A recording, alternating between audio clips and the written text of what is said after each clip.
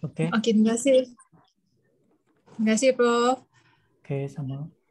Okey, um, sebelum kita buka majlis, kita dulukan dengan bacaan doa daripada wakil kita, Encik Khairul Izzat.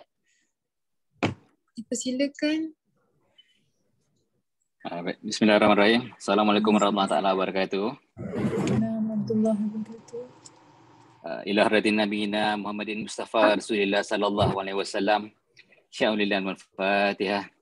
أعوذ بالله من الشيطان الرجيم بسم الله الرحمن الرحيم الحمد لله رب العالمين الرحمن الرحيم مالك يوم الدين إياك نعبد وإياك نستعين اهدنا الصراط المستقيم صراط الذين أنعمت عليهم غير المغضوب عليهم ولا الضالين آمين بسم الله الرحمن الرحيم Alhamdulillahi Alamin Wassalatu wassalamu ala ashrafil anbiya wal mursalin Wa ala alihi wa sahbihi ajma'in. Ya Allah, kami menadah tangan memohon restumu. Kurniakanlah kepada kami iman yang kamil Ilmu yang bermanfaat Rezeki yang halal, anak yang soleh Rumah tangga yang bahagia, usia yang berkat Doa yang mustajab Hajat yang tertunai Kesihatan yang berterusan Hutang yang terbayar Keselamatan dan kesejahteraan di dunia dan akhirat. Ya Allah Tuhan kami, jadikanlah program pada petang ini sebagai wasilah ke arah mempereratkan hubungan antara kami. Ya Allah, perkukuhkan azam dan izam kami bersama demi mencurahkan usaha dan tenaga kepada agama, bangsa dan negara. Sempurnakan, sempurnakan hikmat bakti kami ini sebagai satu ibadah yang dicontohi dan disegani. Edarkanlah kasih sayang di antara kami, limpahkanlah cahaya kami petunjuk untuk kami terus melaksanakan tanggungjawab dengan adil demi kesejahteraan masyarakat dan negara. Ya Allah, jadikanlah perhimpunan kami ini sebagai satu perhimpunan yang dirahmati dan perpisahan kami selepas ini sebagai satu perpisahan yang dia berkati dan dilindungi.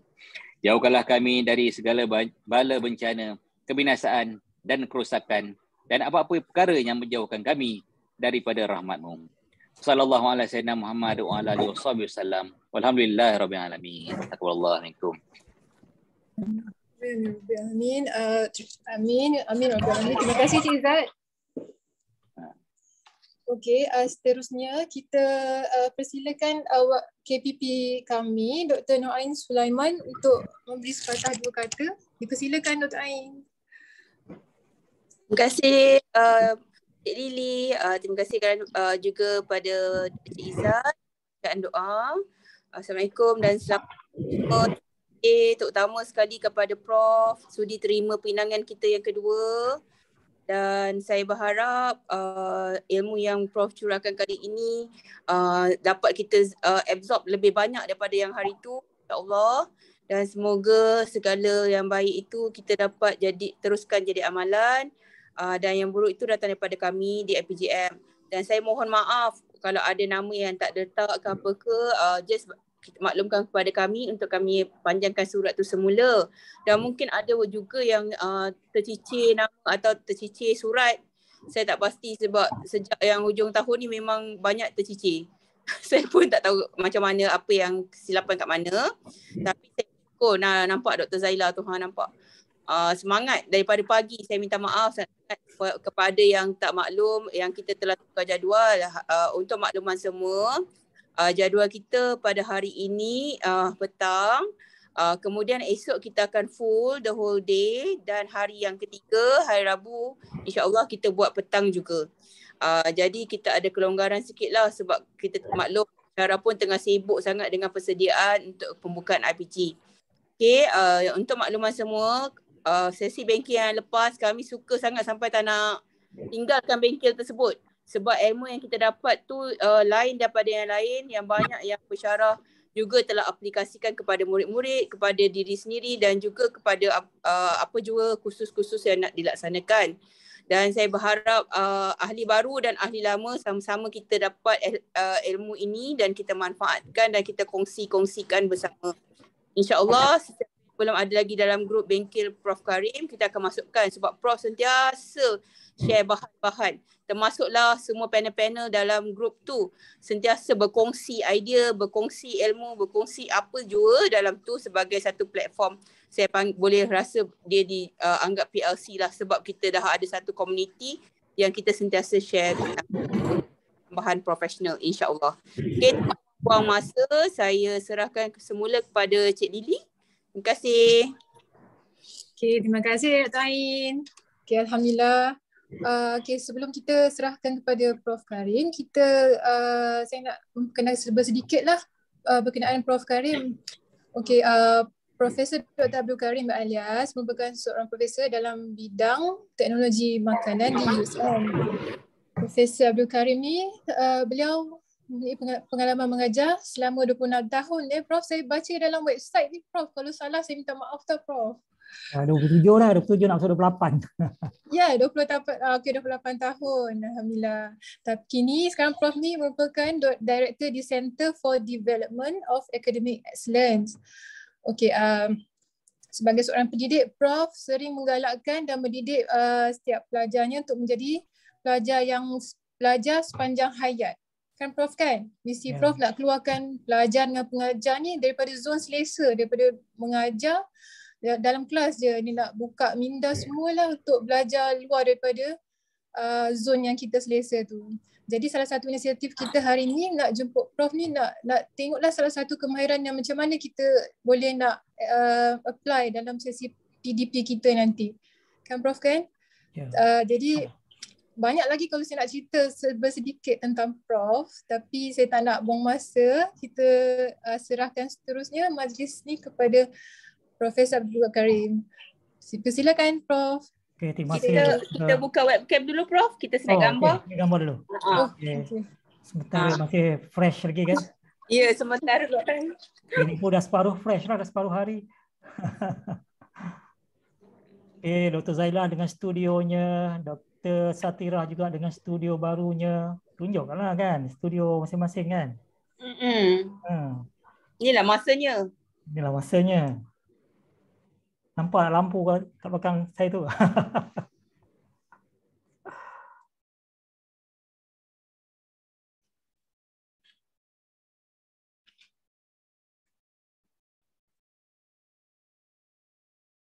Ada yang baru masuk lah.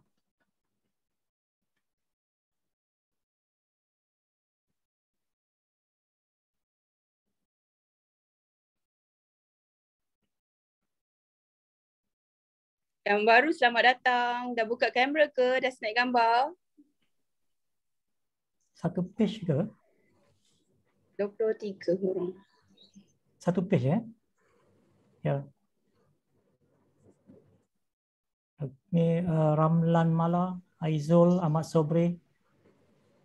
Tak buka lagi. Tok Ain punya pun tak nampak. Oh, ada dua. Okay.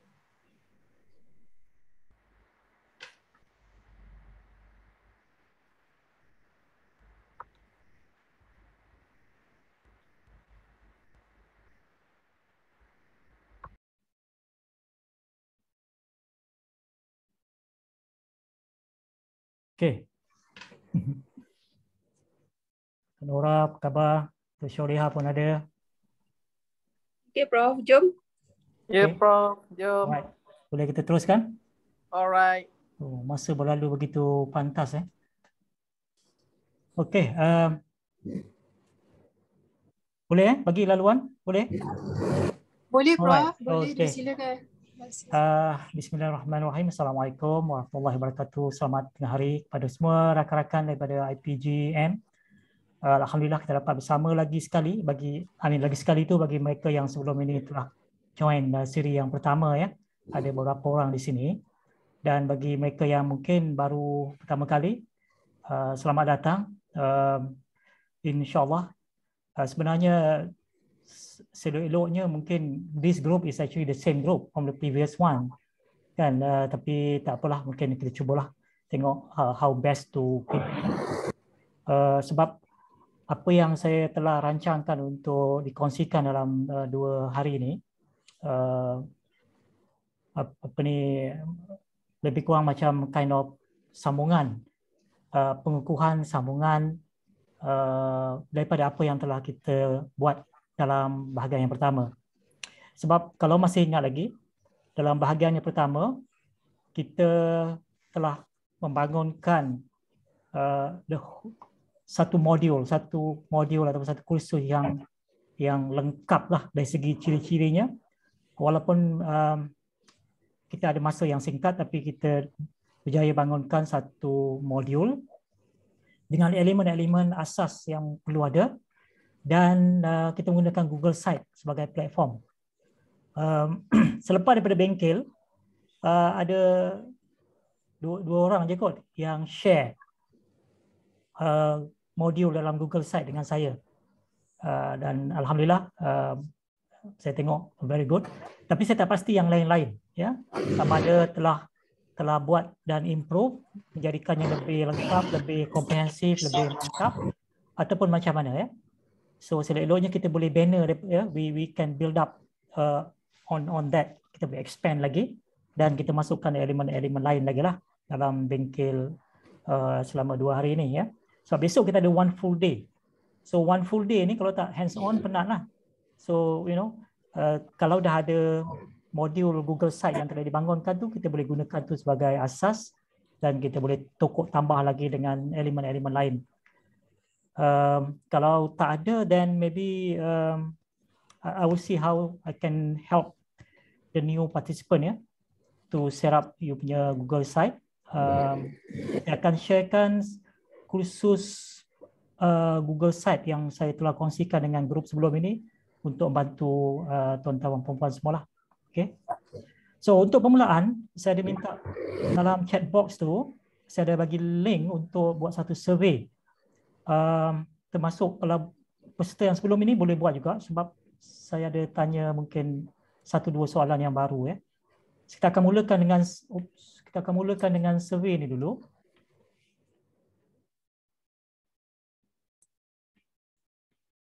Saya akan share screen.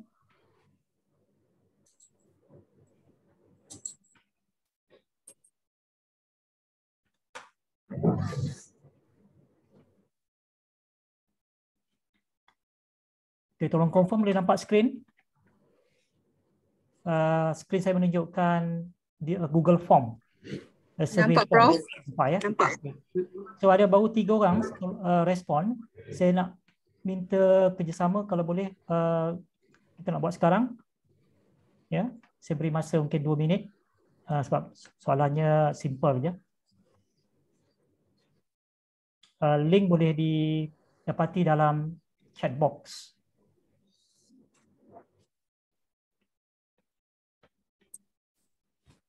Yang penting saya nak tengok uh, berapa orang yang baru. So soalan yang kedua ni, did you join the previous IPGM workshop ini merujuk kepada workshop yang sebelum ini? So kalau jawab yes, maknanya yang dah pernah join lah. Jadi saya boleh tengok berapa ramai yang daripada jumlah 20, lebih kurang 22 orang ni yang telah join sebelum ni. Then I know who are the new one lah. So that uh, when I mention anything from the previous workshop, uh, saya nak pastikan uh, the new participant also can can understand what I refer to lah.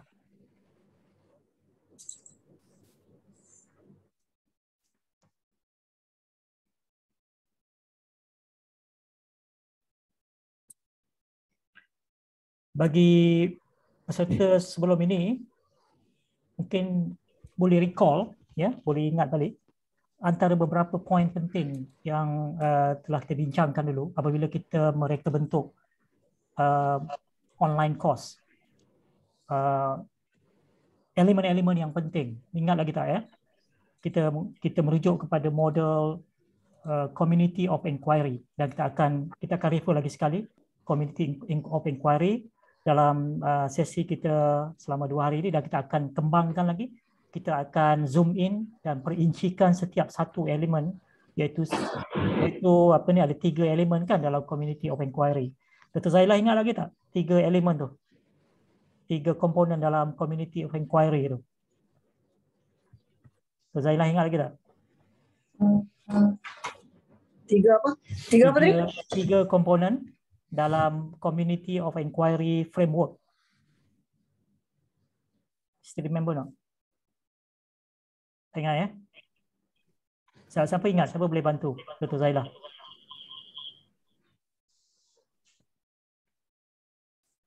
yang lain-lain boleh, masih masih ingat lagi tak?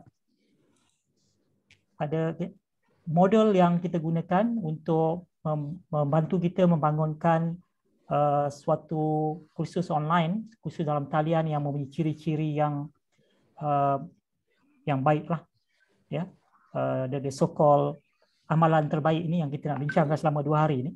Kita akan asasnya kita akan asaskan kepada Community of Inquiry Framework COI itu ya so kita telah kita telah mempelajari uh, secara ringkas sahaja dalam program kita sebelum ini so now uh, recalling ya uh, recalling lah uh, cuba kita ingatkan apa yang telah kita pelajari dalam bingkai yang pertama dulu siapa masih ingat siapa boleh siapa boleh share something on the community of inquiry tu. The three component. Ada ada yang apa ni um, sesiapa di sini yang boleh boleh share dengan kita mungkin uh, I don't know uh, Dr. Soleha mungkin nak cuba Dr. Yi do you still remember what are the three main elements or components in the community of inquiry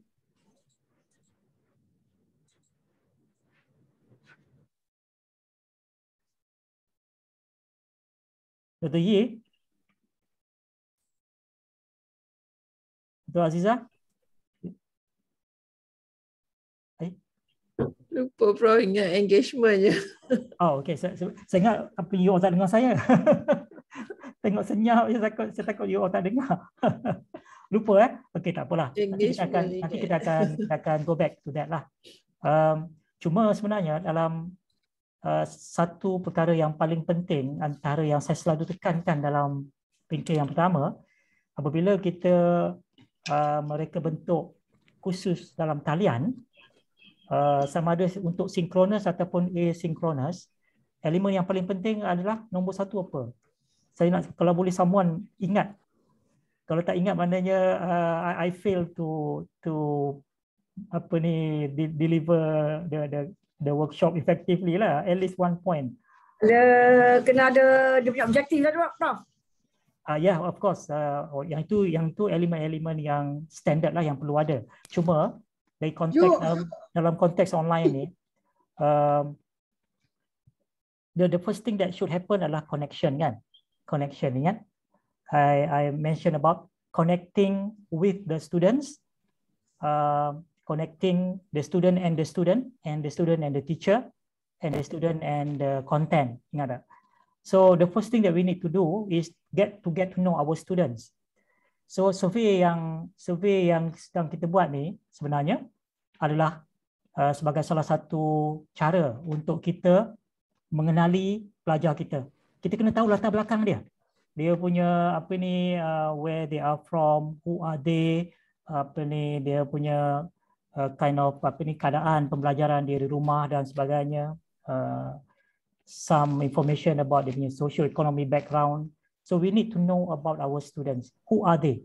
Because apabila kita buat online course uh, kalau kita buat untuk pelajar-pelajar kita je okey lah at least we have some information dia punya file dan sebagainya kan tapi kalau kita buka kepada public then the student can come from all walks of life So kita kena ada cara untuk kita mengenali mereka.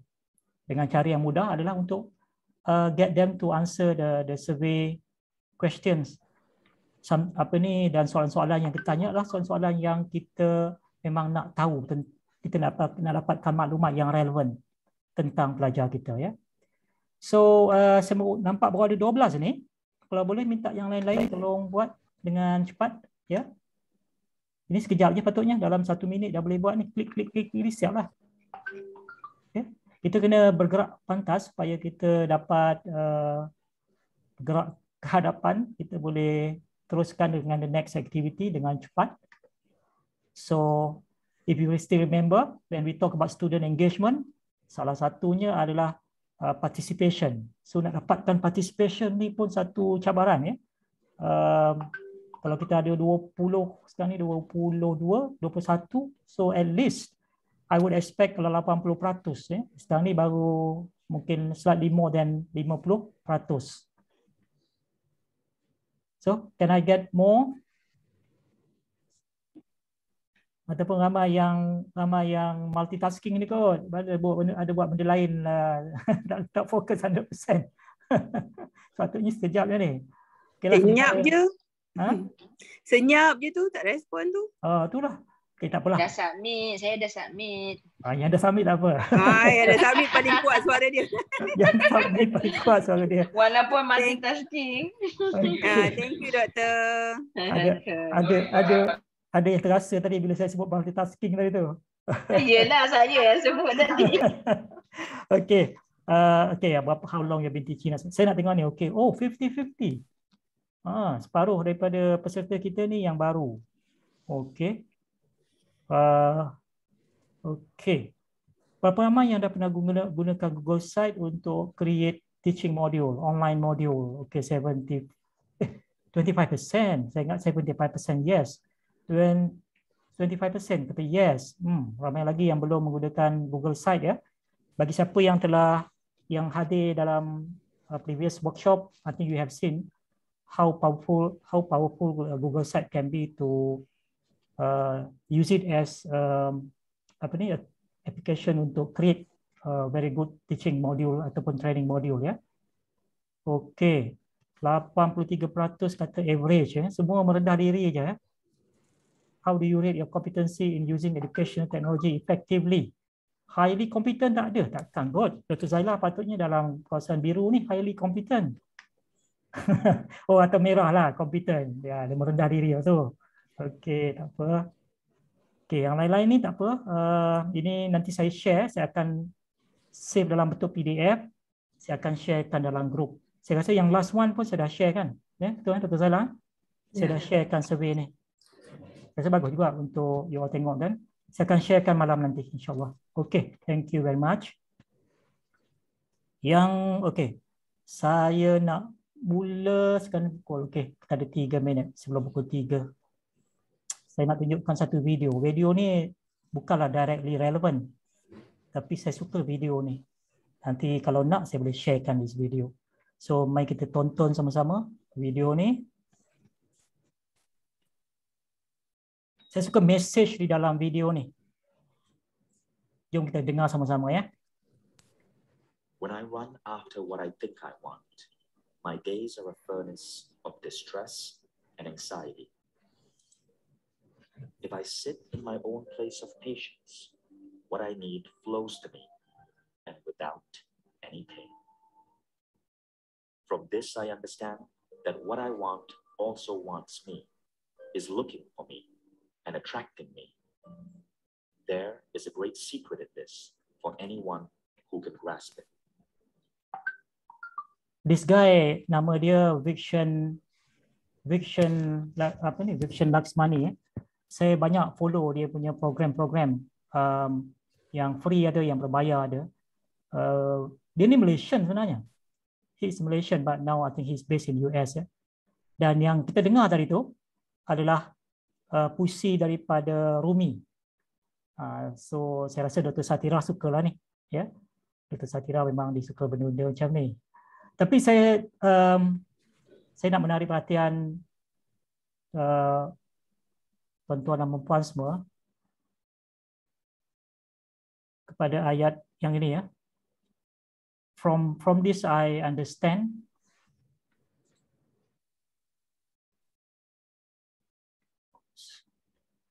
From this I understand that what I want also wants me, is looking for me and attracting me.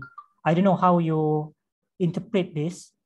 Tapi uh, saya interpret interpret yang begini ya. Eh kalau dalam konteks lifelong learner ni, lifelong learning and kita sebagai lifelong learner, uh, apa saja yang kita ingin capai dari segi menuntut ilmu, kalau kita betul-betul uh, berkehendak, orang kata, kita betul-betul ingin menuntut ilmu tersebut untuk mendapatkan kemahiran dan ilmu bagi tujuan uh, kebaikan. In this case, kita belajar benda ni, apa tujuan kita? untuk meningkatkan kemahiran kita dan kita dapat mem, me, apa ni, me, menyampaikan proses PDP dengan lebih ber, bermakna dengan lebih berimpact kepada pelajar-pelajar kita. Yeah.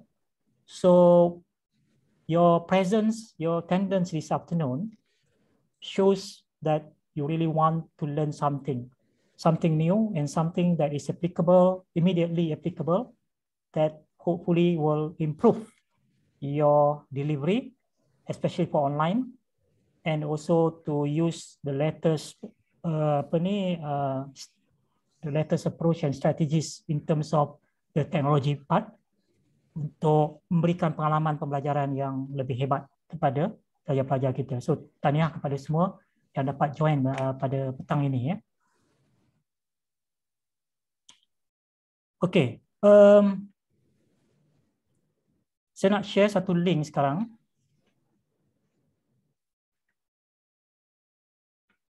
Link ini adalah uh, link kepada kursus ini. Kursus ini adalah kursus yang uh, kita kategorikan sebagai kursus MOOC, M-O-O-C, ya. Massive Open Online Courses. Dan uh, okay, saya akan share link ni untuk anda semua boleh klik link ini and you can open it on your screen ya. Kursus ini ditawarkan oleh uh, dijalan di, di apa ni dijalankan oleh Profesor Barbara Oakley ya. Profesor Barbara Oakley ni he is actually um, an engineer ya. Uh, dia apa mechanical engineer kata silap. So is she's an engineer with California um, University, State University Berkeley, ya, Berkeley, I think. And dia mengajar kurs, menawarkan kursus online ini percuma, of course, secara percuma. Uh, diperkenalkan beberapa tahun yang lepas dan kalau kita lihat di sini dia telah mencapai 3 juta pelajar 3 juta daripada seluruh dunia dan ini merupakan kursus online yang paling top di dunia. Okay, kursus yang paling top di dunia. Dan saya pun menjadi student dalam kos ini. Dan di sinilah saya dapat inspirasi dan idea. Apabila saya melalui, apabila saya go through this course, tak tak tak lengkap lagi, belum belum lengkap 100% lagi, mungkin mungkin 80% kot. Bila saya go through this course, then saya realise, wow, kita ni sebagai pelajar tua lah boleh boleh di, boleh dikatakan sebagai pelajar tua lah ataupun pelajar orang kata berpengalaman lah. Semua kita adalah pelajar kan tapi pelajar yang baru, pelajar yang novice, pelajar yang berpengalaman. Kita ni pelajar dalam kategori pelajar yang berpengalaman lah. Uh, tapi bila I go through this course, saya realise tau. Saya realise Masya Allah banyaknya yang aku tak tahu tentang konsep falsafah teori, kaedah, peralatan, cara-cara teknik belajar.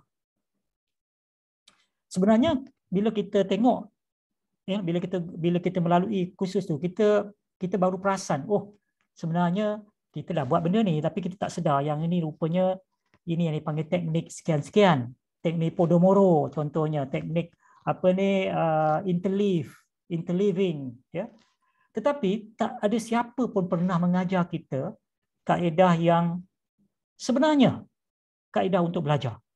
Learning how to learn. Kan? Saya rasa semua pensyarah-pensyarah di sini mungkin biasa nampak kan learning how to learn.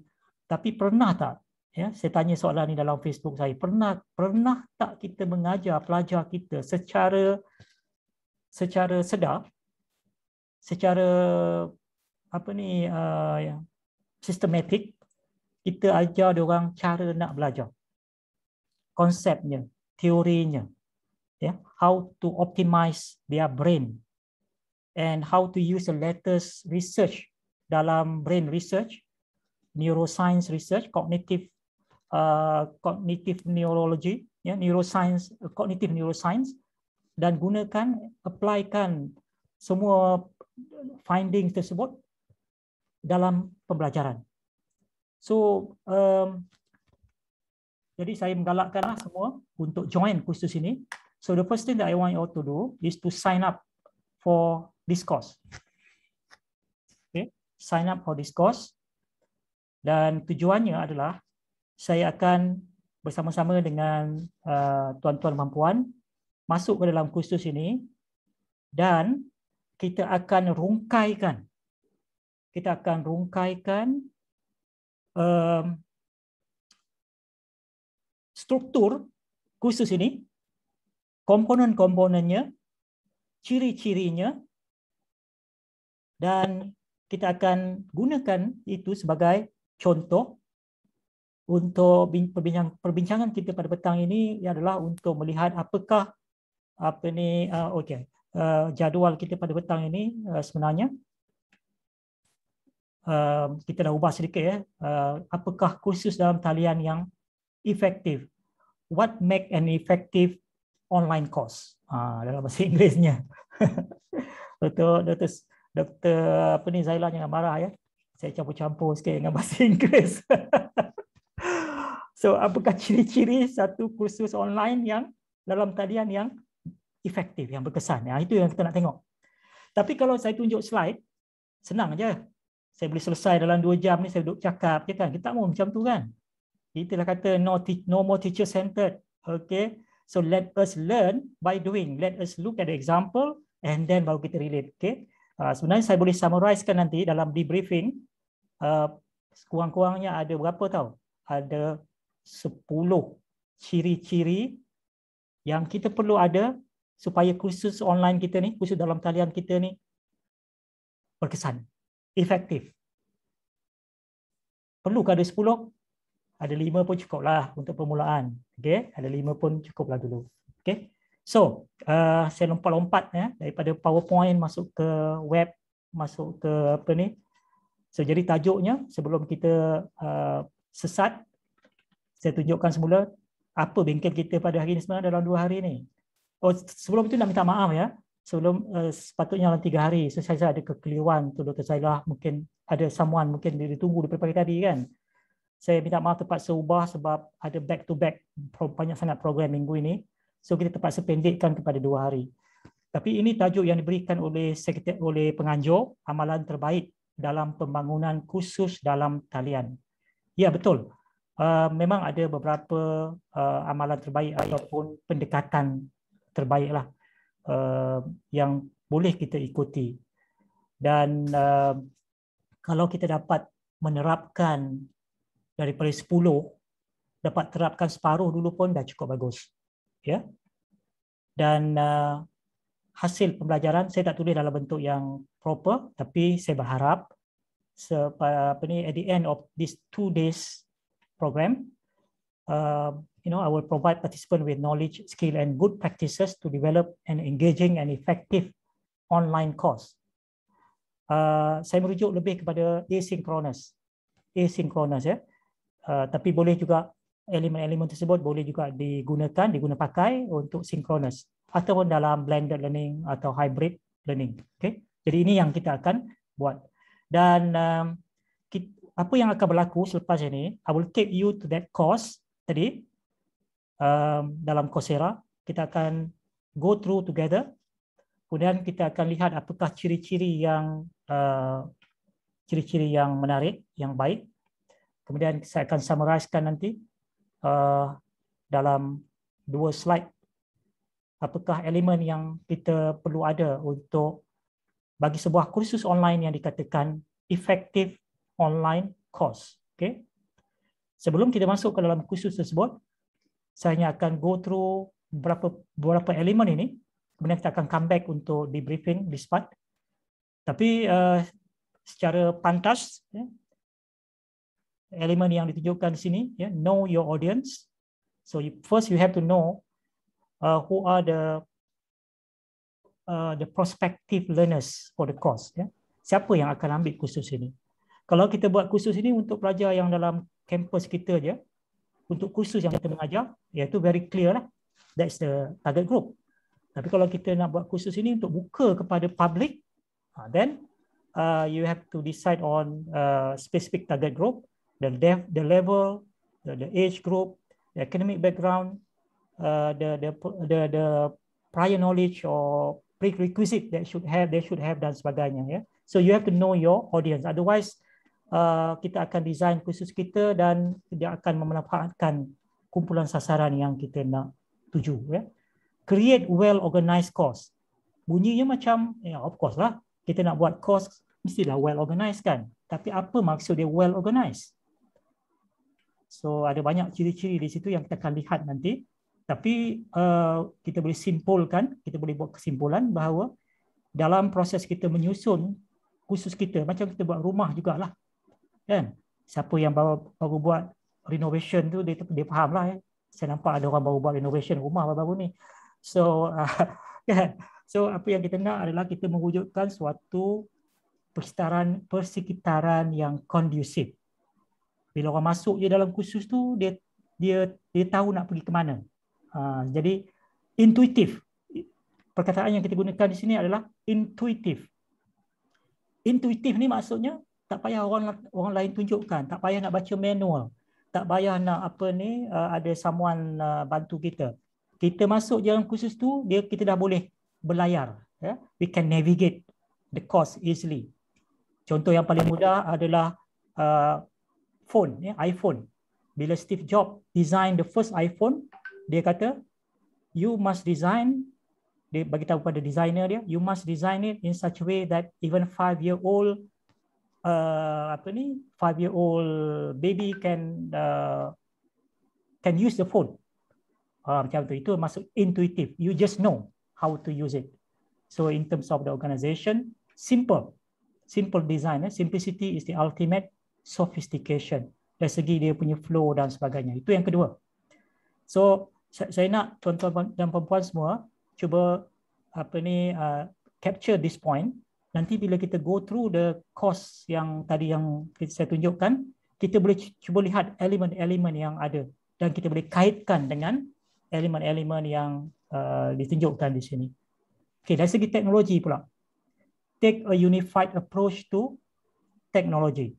Uh, InsyaAllah beberapa bulan ni Dr. Zaila saya akan bercakap tentang uh, model SEMA yang kita boleh gunakan supaya kita boleh menggunakan model SEMA ini untuk menggunakan teknologi secara berkesan. Uh, aktiviti-aktiviti pembelajaran yang kita gunakan itu bukan sahaja konsisten dengan uh, Bloom taxonomy tetapi dia juga boleh boleh memberikan uh, nilai tambah kepada penggunaan teknologi itu sendiri bukan sekadar menggunakan tanpa apa ni ada ada tujuan yang tertentu. Yang ketiga, balance synchronous and asynchronous learning. Ha, ini sangat penting sebenarnya sebab bila kita sebut tentang online learning, khusus dalam talian, pertanyaan yang pertama adalah you nak design ni untuk synchronous ke atau untuk asynchronous? Ataupun lebih banyak asynchronous ataupun synchronous? Ataupun macam mana? Ha, so uh, the portion of asynchronous dengan synchronous itu akan menentukan, akan mendiktat ya, akan menentukan um, cara kita design the course, uh, especially in terms of the learning activities. Ada learning activity yang lebih sesuai dibuat dalam synchronous, ada yang lebih sesuai untuk asynchronous, ada yang boleh dibuat dalam dua-dua. Contohnya macam kita buat kuis Sokratif. Ha, asynchronous pun boleh, synchronous pun boleh. Ya. Uh, okay, itu yang ke yang keempat. Yang kelima, foster connection with student in a virtual space. Uh, yang ini uh, nanti kita akan lihat semula bagi mereka yang mas yang kali kedua ni uh, model community of inquiry itu. The element the apa ni the the social aspect of learning. Yang kita panggil sebagai social presence dalam model community of inquiry ya. Social presence. Sebab sama ada online ataupun face to face or in person uh, course or in person class uh, the connection between the student and the teacher and student and student itu sangat penting ya the emotional connection perlu berlaku sebab uh, menurut model community of inquiry itu setiap kumpulan pelajar adalah suatu community dengan syarat untuk menjadi satu community mereka perlu berkomunikasi So komunikasi adalah merupakan elemen yang sangat penting. If there is no communication, there is no community. Okay. Itu yang kelima. Yang keenam, make the lesson interactive. Yang ini very obvious, self-explanatory. Uh, so kita perlu create lessons yang interactive dengan dengan kata lain yang melibatkan penglibatan participation of everyone in the in the class okay or in the group so the interaction boleh berlaku di antara pelajar by having a discussion or conversation contohnya dalam uh, katakan menggunakan jigsaw that's a very good interactive uh, apa ni activity ataupun between the student and the content so the interaction boleh berlaku dengan banyak cara Kemudian uh, yang ke berapa ni? Ketujuh. Capitalize on hybrid learning opportunities. Ha, ini moving forward bila bila kita mulakan boleh apa ni uh, saya rasa dalam selepas post pandemic ni lah hybrid learning ini mungkin akan menjadi suatu uh, kelaziman ya menjadi satu kelaziman hybrid learning is and and blended learning jangan confuse ya uh, is a apa ni is a subset ya yeah? is a subset of apa ni the the the blended learning can be said as a subset of the uh, hybrid learning ya yeah? uh, access material so cara kita design the course orang mudah nak access material macam bayangkan kalau khusus tu macam rumah kita lah macam rumah kita rumah kita depan tu dah ada pagar pagar tu pula bukan pagar bakar biasa. Punyalah tingginya sampai tak nampak rumah daripada luar. Kan? Lepas tu kuncinya berlapis-lapis. Dah masuk pagar nak kekat pintu pula dengan pintu besinya. Segala. Jadi orang nak masuk, nak akses masuk barang dalam rumah kita memang susah lah kalau pencuri kan. Itu kalau rumah. Kalau kalau khusus kita, bila orang masuk, kat mana nak cari dia punya bahan ni? PowerPoint kat mana nak download? Uh, videonya kat mana? Ah itu bila bila kita design cara macam itu memang sekali itu je lah orang masuk. Lepas tu orang tak masuk lagi dah. Susah sangat kan? Macam-macam uh, halangan untuk dapatkan konten tu. Itu satu benda yang penting. Nampak macam kecil. Nampak macam kecil. Uh, sekarang ni kami tengah audit kursus-kursus yang dibangunkan oleh pensyarah kami dalam 70 kursus.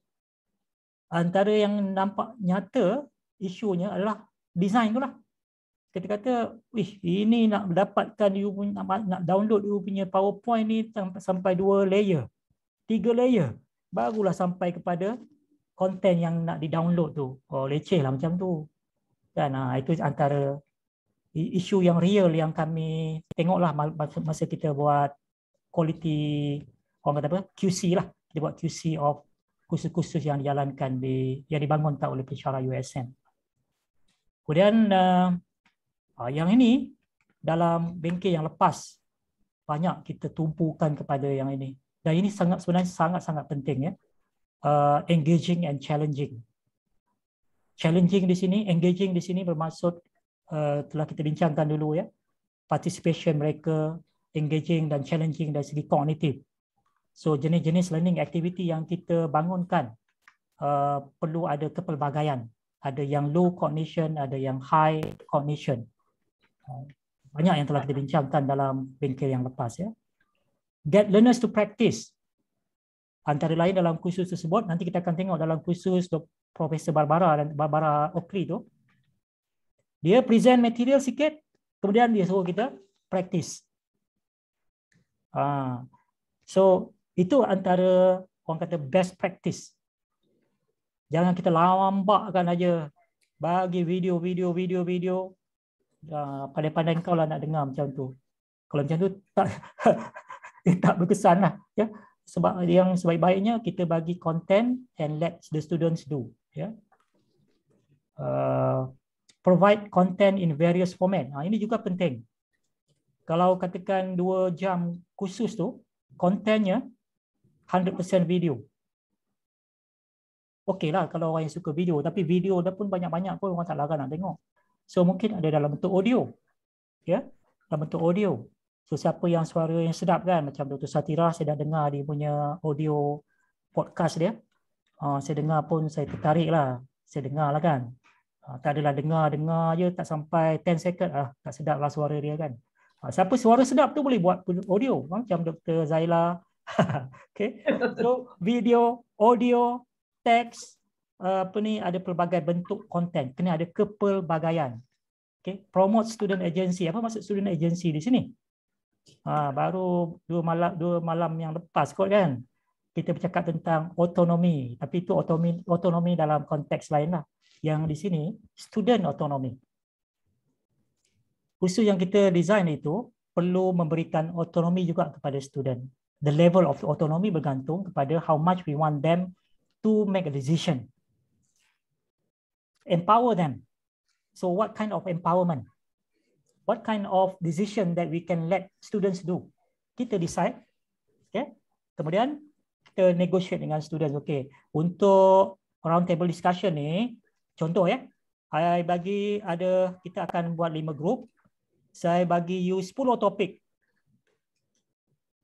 I will not assign the topic. I'll give you the freedom to choose the topic that you feel most comfortable. Ha, itu satu contoh empowerment. Kita bagi options. Ya. Yeah? Uh, this is what I'm doing also this semester. Semester ni saya mengajar. Okay. Kita ada kali ini saya saya punya grup agak besar hampir 80 orang. So kita terpaksa buat sampai berapa grup eh? 15 grup tak silap. So 15 grup kita kata okay, I have only uh, 8 tajuk. Okay, uh, I have this 8 titles only but this time I have 15 groups. Usually we have uh, paling banyak pun 6 7 grup je. So now I'll give I, I empower you. you suggest the topic and let me have a look.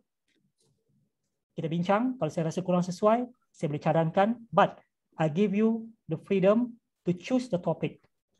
Ha, itu itu satu contoh empowerment. Itu itu yang dimaksud dengan promote student agency. And finally, provide support. Okay, provide support. Jadi ada sebelas. Eh. Ini adalah uh, slide tadi ada, oops, 2468 12, 13. Okey, 13 elemen ini. 13 elemen yang kita perlu ada untuk membangunkan suatu khusus dalam talian yang komprehensif dan mantap yang boleh dikatakan sepatutnya berkesan. Okey. Kalau kita dapat 313 ni, uh, besok ya besok ataupun lusa, uh, lusa saya tak pasti uh, kalau tengok balik ni kita akan melihat uh, L ya besok lah. khusus besok insyaallah besok petang kita akan kita akan tengok contoh rubrik contoh rubrik uh, dan rubrik ini of course boleh memandu kita untuk memasukkan elemen-elemen yang 13 ni. So kalau ini semua ada dalam kursus kita, orang kata we can't go wrong lah. You can't go wrong. Right? Okay.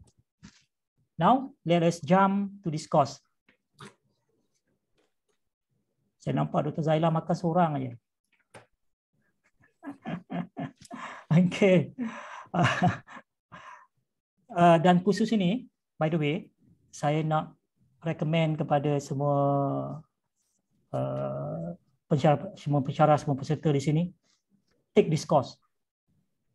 Saya siap beli beberapa buah buku, uh, tapi buku e-book lah. Buku oleh Barbara ni, Barbara Oakley ni, dia ada banyak buku tau. Saya rasa saya dah beli tiga empat buah juga dah buah buku, buku dia. tapi tak baca habis lagi. Baca sikit-sikit baru. Buku uh, tajuk khusus Learning How to Learn Powerful Mental Tools to Help You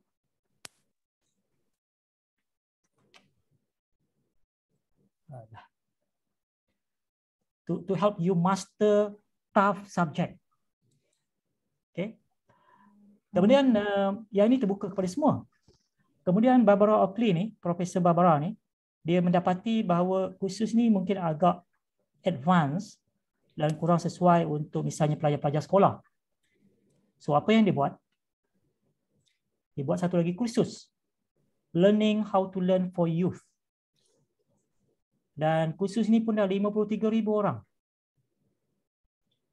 Dan khusus ini di USM, saya dah pakat-pakat dengan VC, uh, NAP Chancellor, saya kata uh, kita wajibkan tapi kita nak galakkan pelajar-pelajar kita ambil khusus ini supaya mereka boleh mempelajari learning how to learn. Okay. So yang ini mungkin uh, apa ni uh, semua uh, bicara di sini boleh boleh recommend nantilah kepada pelajar masing-masing juga supaya mereka boleh boleh mereka boleh ambil kursus ini. Yang ini untuk pelajar yang lebih muda lah. Tapi untuk kita kita boleh ambil yang ini. Okay ya. So now let's uh, log in. Uh, sign up dulu bagi siapa yang belum sign up. Saya akan log in sebab saya dah ada account. Okey, sebelum itu dia akan mulakan sesi baru November 1st. Dah mulalah. Hari ini lah kan? Hari ini satu hari bulan. Hari ini. Hari ini kan? Ah, ya. Yeah. So flexible deadline kalau boleh habis dapat sertifikat dapat sertifikat daripada mana tahu daripada uh, Coursera dan juga Universiti mana ya Universiti California yang open saya tak dapat lagi sebab saya tak habis. Okey. Seperti biasa kita tengok apakah uh, ciri-ciri yang perlu ada ya, about the course. Course kita di sini kita tulis sedetail yang mungkin sedeskriptif yang mungkin. Apa khusus ini? Apakah apakah uh, khusus ini mengenai apa? Yeah? so we we put in as much information as possible supaya sebelum orang daftar dia tahu oh okay this course is about this okay kemudian kalau kita scroll ke bawah ini dia so kita kena jelas apakah kemahiran khusus spesifik skill yang pelajar yang mengambil khusus ini akan dapat test preparation learning to learn Pomodoro Technique. Pernah dengar? You semua pernah dengar ke? Pomodoro Technique, betul saya lah. Pernah dengar? Oh, tak pernah dengar ya?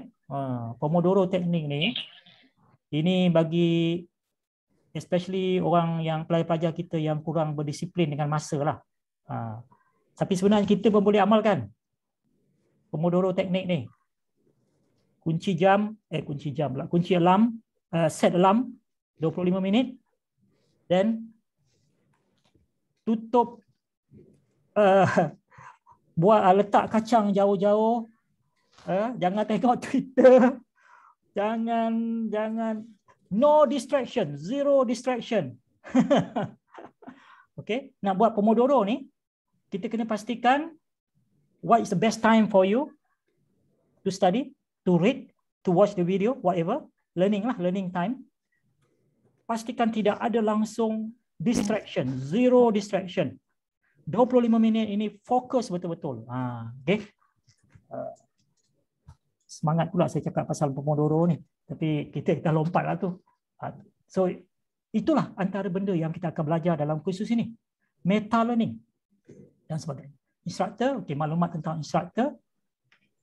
Ada dua pakar. Dr. Terence ni adalah pakar, dia neuroscientist neuroscientist dia kaji otak dari segi bagaimana brain works in terms of learning.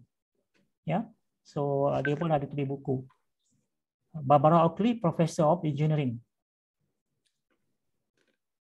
Professor of Engineering bergabung dengan profesor dalam bidang neuroscience tulis buku tentang uh, how to learn. Berbeza dengan orang from education tulis buku tentang learning ya. Uh, saya tahu ramai orang education di sini kan tapi bila saya dah baca banyak buku yang ditulis orang education dengan ditulis oleh orang bukan education somehow berbeza dari segi pendekatannya okay uh, ini buku-buku lain oleh yang ditulis oleh Barbara eh, Mind Shift. Ini pun saya dah beli buku ni. Banyak buku saya beli. Okay kalau kita lihat tengok di sini ya bagaimana dia menyusun konten. Ha, ini penting ya uh, kalau saya lompat balik ke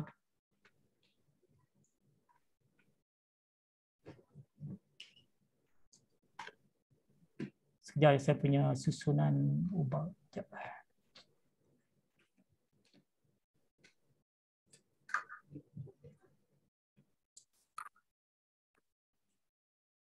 Okay. Uh, saya lompat di sini nak tunjukkan yang ni. Create well organized course. Ha. So saya nak kaitkan dengan apa poin-poin yang kita lihat tadi. Yang pertama, know your audience. Ha, ini yang saya nak sebutkan mula-mula. Know your audience. Untuk khusus ini, Barbara Oakley mula-mula dia tujukan sasarannya adalah kepada pelajar-pelajar dewasa. Kemudian after two years, dia mendapati bahawa rupanya ramai juga pelajar-pelajar sekolah yang mengikuti kursusnya dan pelajar-pelajar sekolah itu mendapati uh, some of the material agak agak advance. Uh, jadi bila dia bila dia nampak yang itu, dia dapat feedback begitu, dia kata okay, I need to create another course untuk sasaran yang berbeza. So, untuk pelajar-pelajar yang lebih muda. So, dia buat kursus ini. Ha, okay, nampak tak? So itu you know your audience. Yang keduanya create well organized course. Okay, macam mana dia create apa dari segi cuba kita lihat dari segi konten, uh, susunan konten, susunan struktur khusus ini. Syllabus ya. Okay, syllabus. What you will learn from this course. Okay, week one, week two, week three, week four, ada empat minggu. So khusus ini selama empat minggu. Okay, apa ada dalam setiap minggu? The first week, four hours to complete. Ha, ini salah satu ciri yang uh, please apa ni uh, tolong tolong uh, perhatikan, tolong note down ya, tolong take note. Bagi setiap satu section dalam kursus kita akan ada contohnya yang ini week 1 ada 14 video. Konten dalam bentuk 14 video total 109 minit, ada 5 reading, ada 3 quizzes. So kalau saya klik see all, 14 video, 5 reading, 3 quizzes, jumlahnya untuk student tengok semua video, buat semua quiz, baca semua reading, 5 reading, mereka mereka memerlukan 4 jam untuk complete. So kita kena buat kita kena estimate lah uh, dia punya student learning time dia ya dia punya SLT lebih kurang 4 jam. So ramai orang tanya macam mana kita nak agak ah? kalau video ni 10 minit berapa dia punya SLT kalau uh, reading artikel uh, this this article uh, seribu perkataan berapa lama dan sebagainya. Yang itu ada garis panduan dia. Nanti saya boleh sharekan juga untuk memudahkan kita mendapatkan anggaran berapa jumlah masa bagi setiap satu aktiviti yang kita buat di dalam uh, khusus tersebut. So, tengok ni, okay. week one, four hours to complete. Kemudian dia ada penerangan. Tajuknya adalah what is learning. Kemudian ada description. Okay. Ada description. Apabila kami buat QC, ya, kursus-kursus yang dibangunkan oleh pensyarah, ramai juga antara mereka yang tidak memberikan perhatian untuk menulis deskripsi yang lengkap. Ya, dia tulis macam malas-malas saja. Ya, buat macam macam macam macam just apa ya. Uh, they they don't realize that the description of each topic is actually very important. Supaya pelajar dapat sebelum dia go through deeper pun dia dah dapat dah gambaran. Oh, this topic is about this. Ha, Ini sangat penting ya, ditulis dengan uh, elok. So, uh, tadi saya klik see all. Kalau saya klik see, uh, see all dan saya dampaklah semua. Okey, 14 video. Ini dia, videonya. Tapi setiap satu video tu, kalau perhatikan, pendek-pendek. 4 minit, 2 minit, 4 minit, 5 minit. Ada tak? Paling panjang sekali adalah 19 minit. 15 minit, 18 minit. Okey, 19 minit yang paling panjang. Bagi saya, lagi pendek, lagi bagus. Paling panjang pun kalau boleh jangan lebih daripada 15 minit. Kalau macam 19 minit ini, boleh dipecahkan mungkin kepada 10 minit, 10 minit. Ya. Ha. So, setiap satu video ada tajuk. Okay, ada tajuknya. Kemudian uh, reading. Reading material. So ini lima reading material. Dan kita boleh lihat di situ, setiap satunya diberikan juga anggaran masa. Nampak tak? Diberikan anggaran masa. 10 minit, 10 minit, 10 minit. Kemudian ada practice. Ha, ini, remember, uh, I go back to the slide. Uh, this next slide. Yeah. Get learners to practice. Get learners to practice. Okay. So, ada practice. Practice ini mungkin uh, kalau kita lihat di sini dalam bentuk quiz. 30 minit. Ada dua quiz, setiap satunya 30 minit. Alright. Okay. So di sini kita boleh menggunakan tool-tools yang tertentu lah. Uh, so kreatif dan yang lain-lain. Ada banyak. Tool tu jangan bimbang. Eh. Tool ada banyak. Yang penting adalah bila kita pada peringkat kita design, kita kena jelas uh, based on the learning outcome yang kita ingin capai. So ada berapa banyak in terms of the content. Uh, kemudian bagaimana kita nak menyediakan content itu. Untuk khusus ini banyak dalam bentuk video. Kemudian ada reading material. Kemudian ada practice. Itu tiga. Tiga jenis. ya. Kemudian second week. Three hours complete. Three hours to complete. Chunking. Kemudian ini description-nya. Kemudian tu dia. 11 video, total 77 minit, ada satu reading material, ada tiga quiz. Itulah seterusnya. Okay. Dan nanti uh, yes, uh, yes, Dr. Kok, Dr. Kok Bun Xiong, ya silakan. Ya, yeah, sorry, sorry, Prof. Yeah, ya, can, uh, anyone can interject anytime, eh, as usual. Um, Prof, tentang video ni kan? Ya. Yeah uh, biasanya lah kita boleh nampak dalam uh, public courses kan seperti uh, Microsoft pun ada dan sebagainya lah. Um, bagaimana uh, pandangan Prof lah kalau video-video ni kalau kita biasanya di hujung dia dia ada bagi latihan ataupun quizzes lah kan. Jadi boleh bolehkah kita uh, allow uh, participant skip ataupun fast forward video tersebut? Ah, ya. Yeah boleh tak kita allow the students to skip, skip. the video ataupun uh, ialah fast forward the video kan uh, bergantung pada kita ada caranya kalau kita nak pastikan dia tengok video tu daripada awal sampai akhir without skipping boleh ya yeah? uh, tapi kalau you nak allow then you can do that also yeah? so uh, tadi um, kalau kita tengok dari segi konsep to provide uh, apa ni uh, to to provide options to the student then remember? To provide options to the student then you might want to provide that option for students to skip. Uh, tapi if you provide that option at the same time you really want the students to watch or do the whole thing watch the whole video or or read the whole article so you must make the point very clear. You must make it send a, very clear message that uh, uh, you know uh, is highly recommended. For example, highly recommended for you to watch the whole video in order to uh, understand the whole thing. Atau you provide option for the students to skip the video if they wish, but you can make it in such a way indirectly.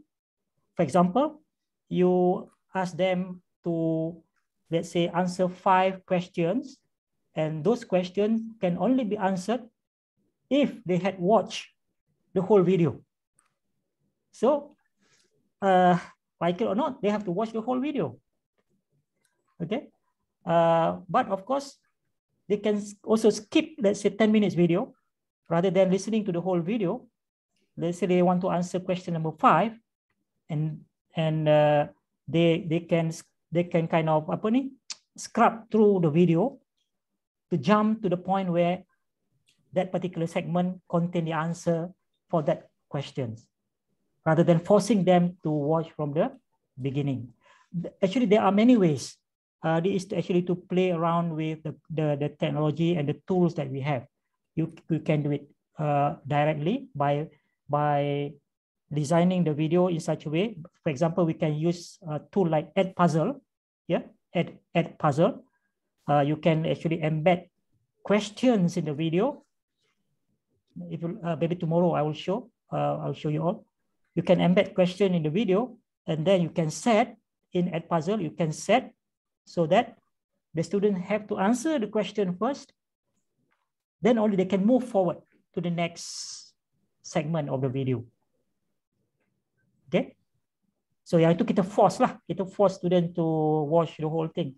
Ataupun kita bagi option, tetapi you can design activities in such a way that although you give them the freedom to ni, tapi somehow they will need to study the whole material, watch the whole video, read the whole article because before they are able to answer the questions uh, or any task that you ask them to do based on that content. Saya harap jelas. Betul kok okay. tak? Ya, okay, okay. Thank you, Prof. Okay. Ya, uh. Prof. Jadi, um, kalau kita allow dia uh, buat begitu, uh, nanti mungkin Prof boleh tunjukkan macam mana panduan uh, kira student learning time tu kan? Well, student student learning time ni begini tau. Um, Sorry. uh, we don't have to be very rigid. Yeah. We have to be very rigid about it. When when we calculate the student learning time, always always uh, always always uh, be on the higher side. Uh, ataupun always overestimate rather than underestimate. Okay. Okay. Uh, oh, that's why kan misalnya uh, katakan one content, for example video, if not mistaken, kan, kalau 10 minutes video, we the the multiplying factor is, if not mistaken, is 3 ataupun 2.5. Uh, we have to, there, there's a guideline I can share with you all uh, besok lah.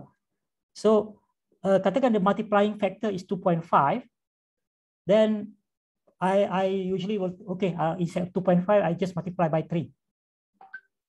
Uh, jadi 10 minutes video the SLT is 30 hour eh, 30 hour pula 30 minutes uh, instead of 35 minutes. Always on the on the overestimate punya side then it should be okay. Okay. Boleh ya Dr. Kok? Besok-besok kita akan tengok beberapa contoh lah. Especially video uh, especially video. Uh, one of the tool that we can use to have some control is by using Edpuzzle. Yeah, Edpuzzle. Or dalam open learning platform, it depends on the platform that you use. Uh, you can also have control there by controlling the set the setting. If you use Google Classroom, Google Classroom tak banyak control kat situ. Itu yang yang saya tak apa keen sangat dengan dengan, dengan Google Classroom ni. You less control if you use uh, Moodle, for example, uh, Moodle is very good because you can have a lot of control there. If you wish, you want to have control. Prof. Yeah. Ya, ayat ini bagus lah kena code, kena record bagi tahu IPGM. so IPGM wajib kan kita guna Google Classroom. Yeah, you know, because KPM memang guna Google Classroom kan. Ha, KPM dengan IPGM kena wajibkan kita guna uh, oh, Google Classroom. Oh, wajibkan. Oh, wajibkan. Ya, wajibkan. Ya. Wow. Kalau wajibkan, That's why lah. Kalau wajibkan, maknanya kalau tak gunakan berdosa lah. uh, yeah. Okay, thank you, Prof. Uh, sepatutnya tu saya wajibkan. Uh, itulah kalau kita bincang pasal otonomi ni kan apa ni Dr. Satirah kan. Uh, every even you want to go to the micro level to wajibkan and control everything. To me, that's not the way lah. That's not the way. You kill creativity. Ha, nak marah tu. you kill creativity, kata Sir Ken Robinson. Alright. Uh, okay. Now, let's go into the in, inside the course, shall we? Okay, jadi uh, 3.40 what should we Betul Ain, uh, do you do you want to have a short break? Betul Ain, the secretariat? Uh, sure, bro. Okay, I'm, I'm okay. Tapi I think it's always good practice to to have a short break. Saya kalau boleh nak terus je. Ah, teruskan tu Prof sebab uh, sekejap je masa kita. Itulah. Uh, macam mana kita ambil 5 minutes break? Okay lah. Boleh, minutes. boleh. Boleh ya. So we come back uh. at 3.50 macam tu? Okay, terima kasih Prof. Uh, alright. Jom pergi toilet. okay.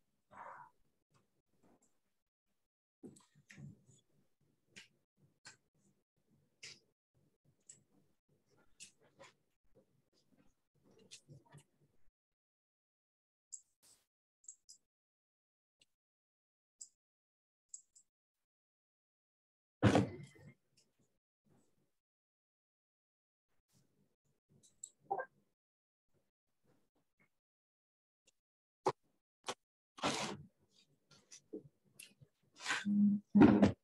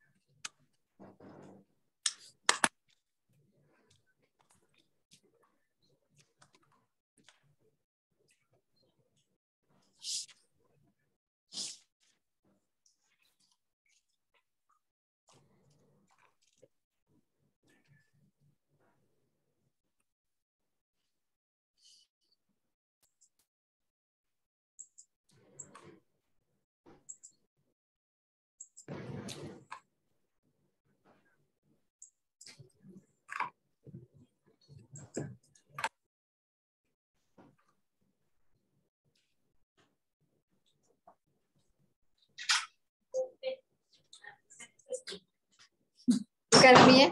Saya baru je tutup. Ni SST yang mana? Ansih. Dia datang, ha.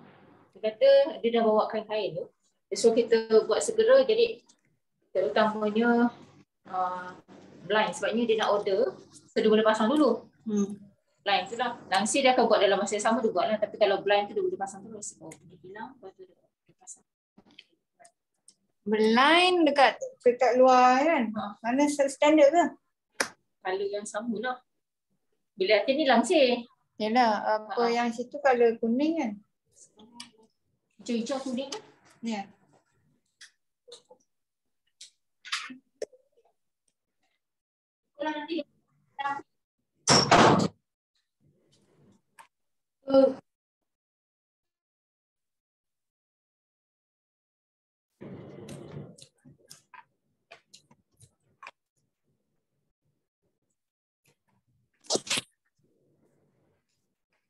Kalau nanti Uh, ada kursus lain ke?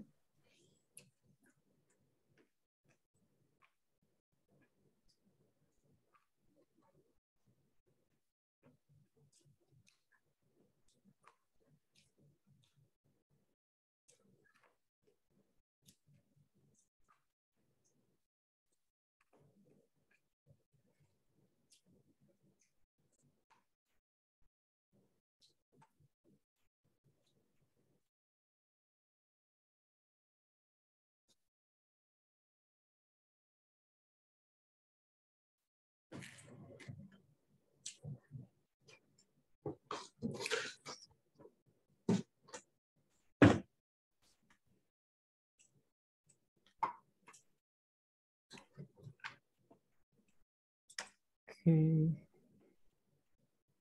Alright, uh, kita boleh mulakan uh, semula. Program kita sampai pukul empat setengah. Empat setengah. Okay. Okay, nak mula terus. Boleh ya? Saya mulakan eh? Ya. Uh, saya ada share satu link dalam chat. Link ini membawa kepada this page.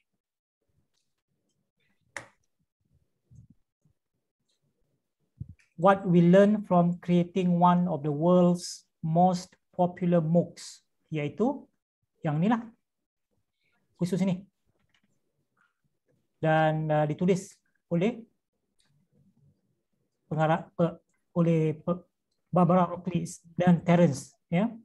what we learn from creating one of the world's most popular dan boleh download the PDF di sini itu PDF-nya ya yeah? boleh download PDF-nya iaitu yang ini so nanti mungkin malam nanti ke kalau ada masa ke atau bila-bila lah bacalah uh, artikel ini artikel ni sebenarnya di, uh, diterbitkan dalam uh, Science of Learning dalam website ini ya.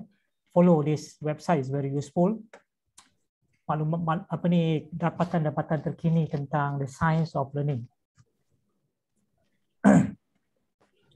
saya saya mendapati ramai orang-orang even from education they they don't somehow they are not following the the latest in the science of learning ya. Yeah uh, saya rasa itu sangat uh,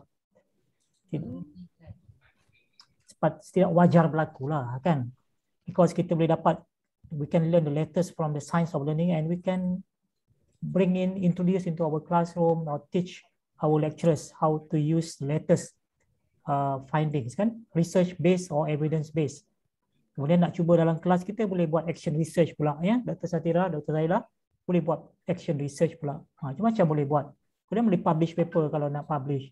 Tengok macam ini ya. Walaupun dia professor of engineering, they still publish. They still publish uh, about the course. So, uh, this is a very good paper. Kalau kita nak tahu what make their course sampai sekarang ada 3 juta pelajar. Tentulah banyak ciri-ciri yang menarik, bukan? Apa yang menariknya sangat? So, if you want to talk about keberkesanan efektif ambillah contoh daripada kursus yang itu yang paling popular kan? Ha, kursus yang paling banyak. So this paper will be apa ni? Sebagai contoh uh, dalam table 1 ni kalau kita lihat Mayer's Principles of Multimedia Learning relevant to video. Video itu sendiri content video tu kalau kita nak buat ada prinsip-prinsip instructionalnya instructional design uh, principles yang perlu kita pelajari.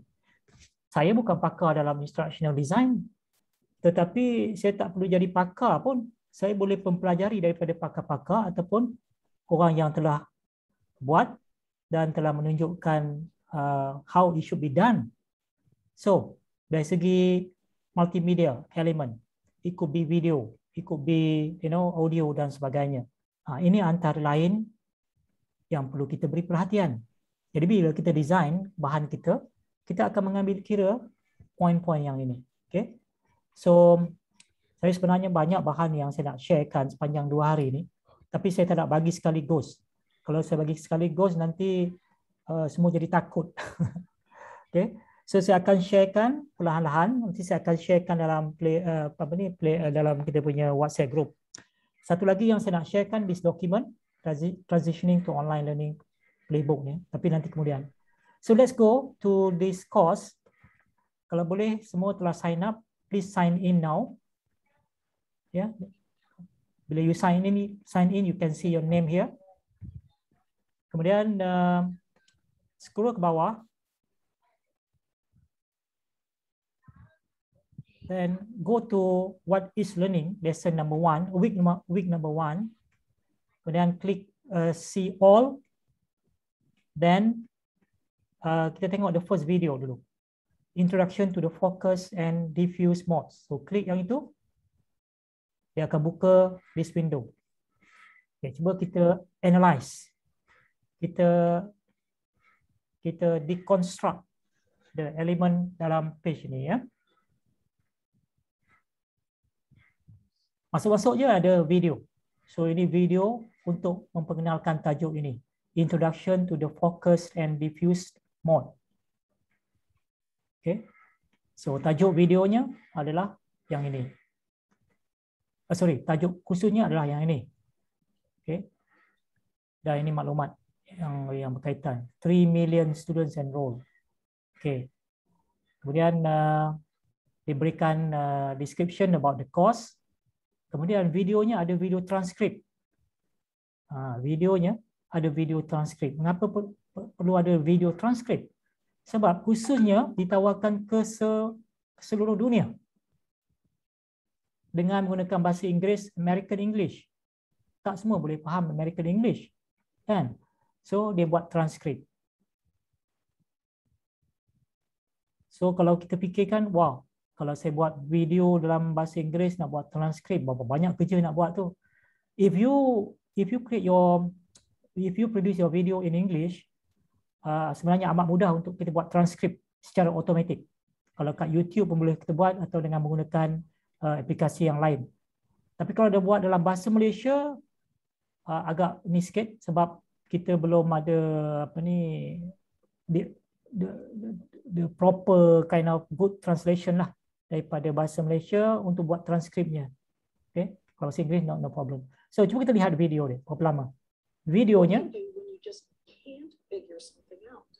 4 minit lebih sedikit. They can just keep bashing So they can just keep bashing their brains against the wall. But living brains are a lot more complex.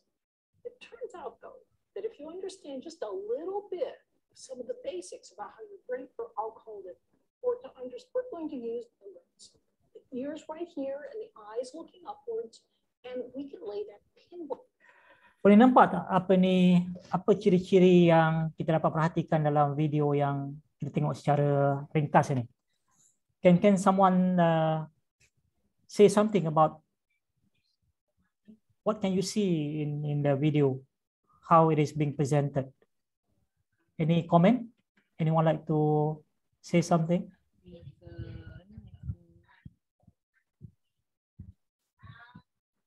Yeah. Yeah. And uh, Dia persembahkan sesuatu yang abstrak dengan cara yang mudah. ya. Cara yang mudah di situ uh, kalau Dr. Ya. Aziza boleh lebih spesifik. Beliau menggunakan metafor. Kan? Beliau Ya. menggunakan metafor, menggunakan analogi, menggunakan animasi. Uh, jadi walaupun video je 4 minit, tapi kalau kita tengok video ni, saya dah tengok berapa kali dah video ni. Apa ni kat YouTube pun ada.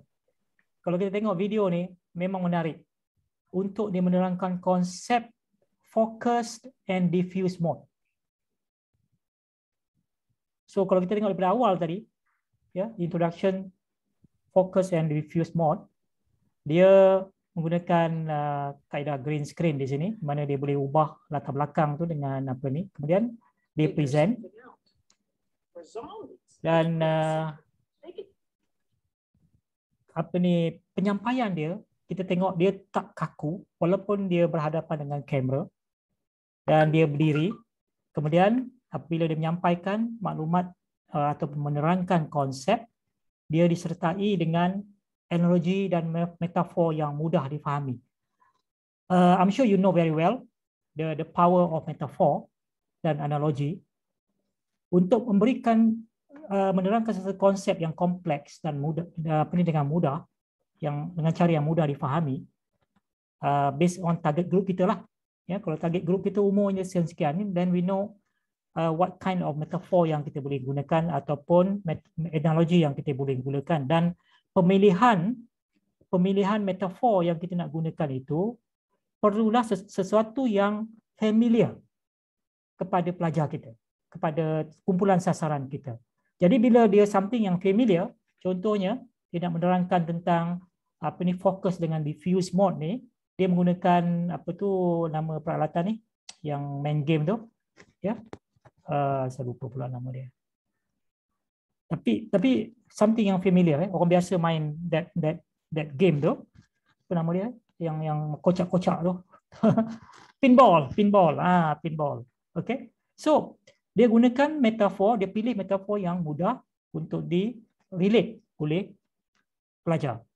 Jadi dengan itu dia boleh menerangkan konsep ini dengan lebih mudah. Sesuatu yang kompleks tapi diterangkan dengan mudah dengan bantuan grafik, dengan bantuan animasi, dengan menggunakan bantuan uh, analogi dan uh, ataupun metafor yang sesuai. So dalam video ini pun kita dah melihat in terms of content. Okay. In terms of content, kalau kita lihat slide kita lagi sekali, um, provide content in various format. Okay. Um, okay. Uh, let's make the lesson interactive not yet. Belum ada lagi interact interaction di situ ya. Tapi yang penting adalah uh, uh, material yang di, yang di video yang disediakan itu adalah sesuatu yang dapat membantu menerangkan uh, konsep ataupun prinsip dengan dengan mudah ya. So, kita ada video. Kemudian kita ada video transkrip. And that's it for for the first part, for the first lesson.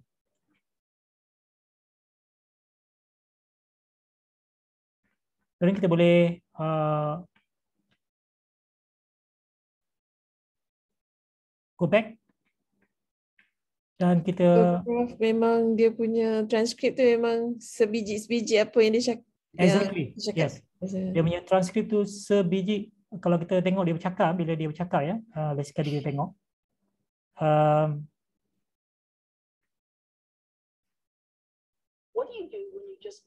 kalau kita baca transkrip bawah tu, zombies, it's pretty simple. They can just keep bashing their brains against the wall. But living brains are a lot more complex. It turns out, though, that if you understand just a little bit exactly. exactly sama jadi itu akan membantu pelajar uh, yang mungkin non native english speaker boleh membantu dia untuk memahami kandungan video yang uh, yang disampaikan ya. Okey. Kemudian dalam kos ini khusus ini dikendalikan oleh dua orang uh, itu yang uh, apa ni mungkin uh, suatu yang eh apa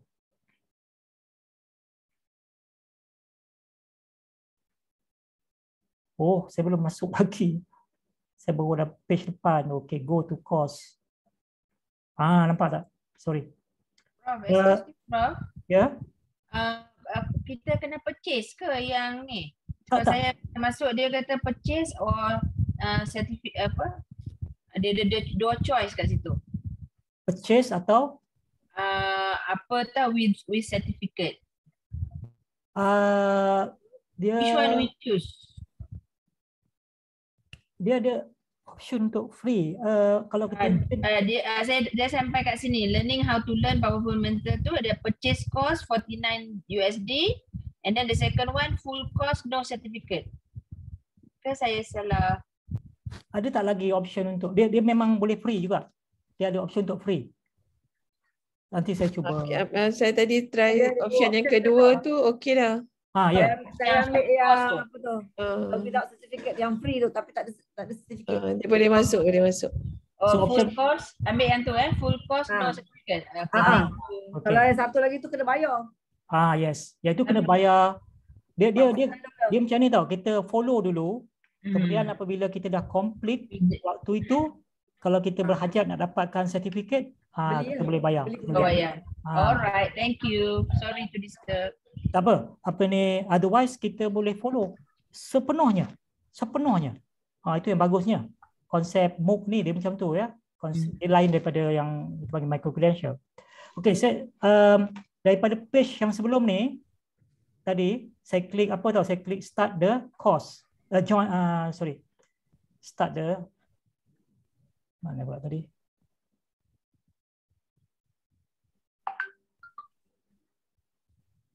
saya dah masuk.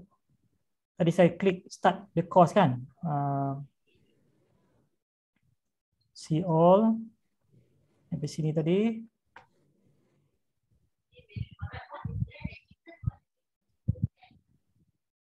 Uh, ini pun ada ni, try the course for free. Kan?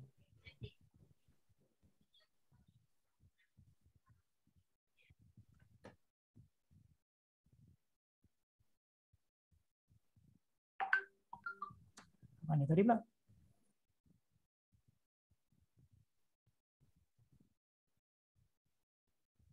And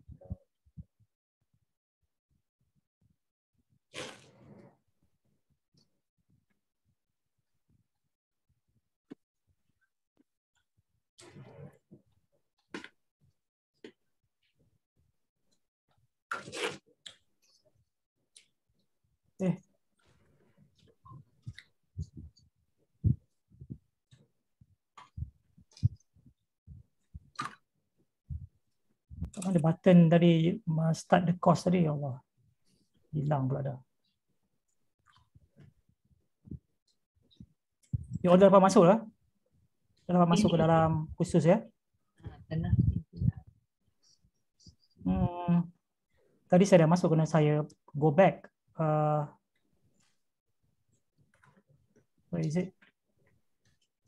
The button to uh, ini enroll for free. Kalau dah masuk ni boleh dia ada enroll for free. Saya dah enroll khusus ni.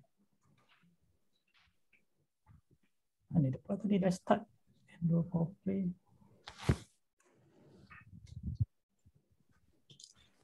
Ah, kacau lah dia.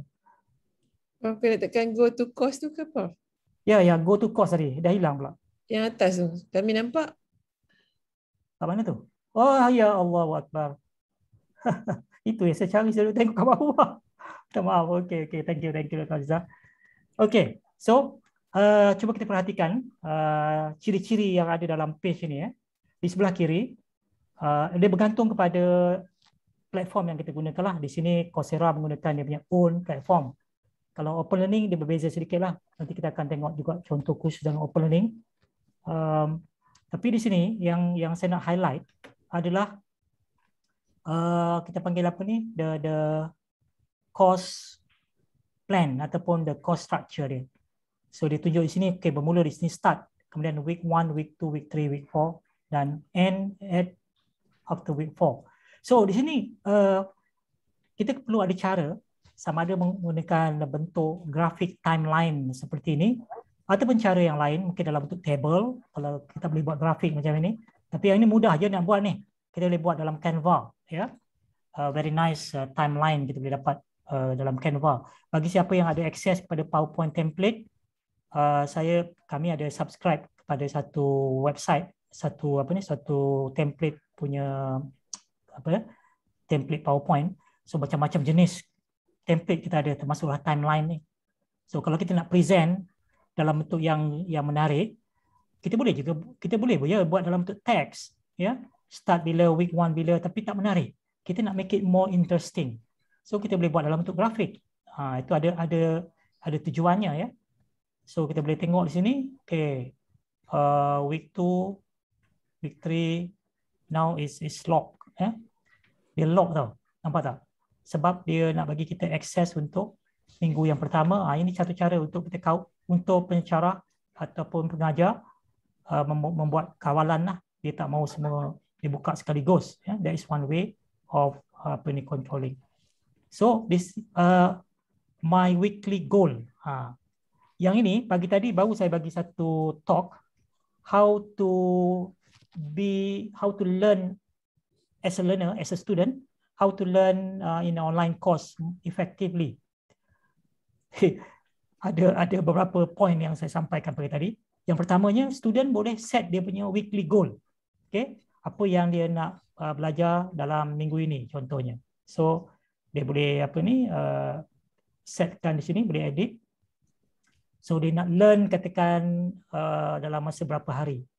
So itu semua boleh di, di setkan lah. Okay ataupun pick pick up where you left off.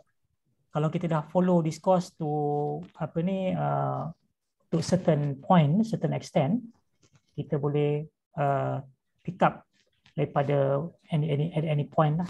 Ataupun kita boleh reset kita punya own deadline yang telah kita tetapkan untuk diri kita sendiri.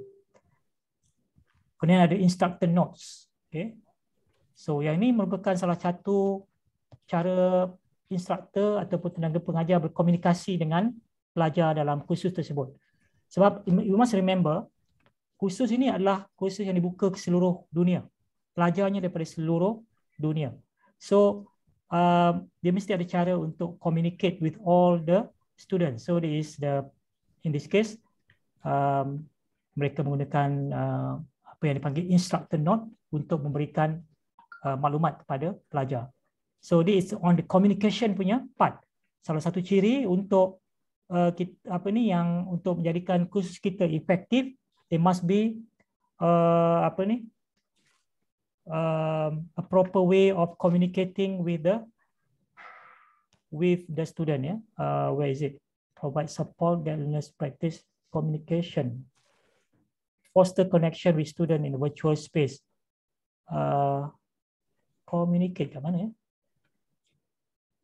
Building, create building, uh, eh?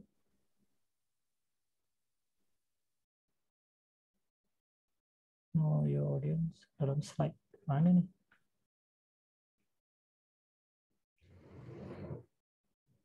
There should be one lah on communication part. Mungkin mungkin boleh di, dimasukkan di bawah. Foster connection with students in the virtual space. Create a sense of community. Look at ways to build a meaningful connection with online learners. So yang kita lihat di sini, ini merupakan salah satu contoh.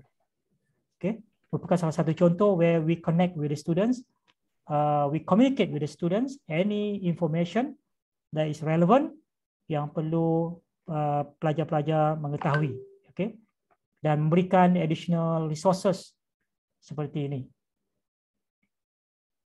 Dan kalau lihat di sini, uh, ini satu contoh yang kita kata memberi option, memberi pilihan kepada pelajar.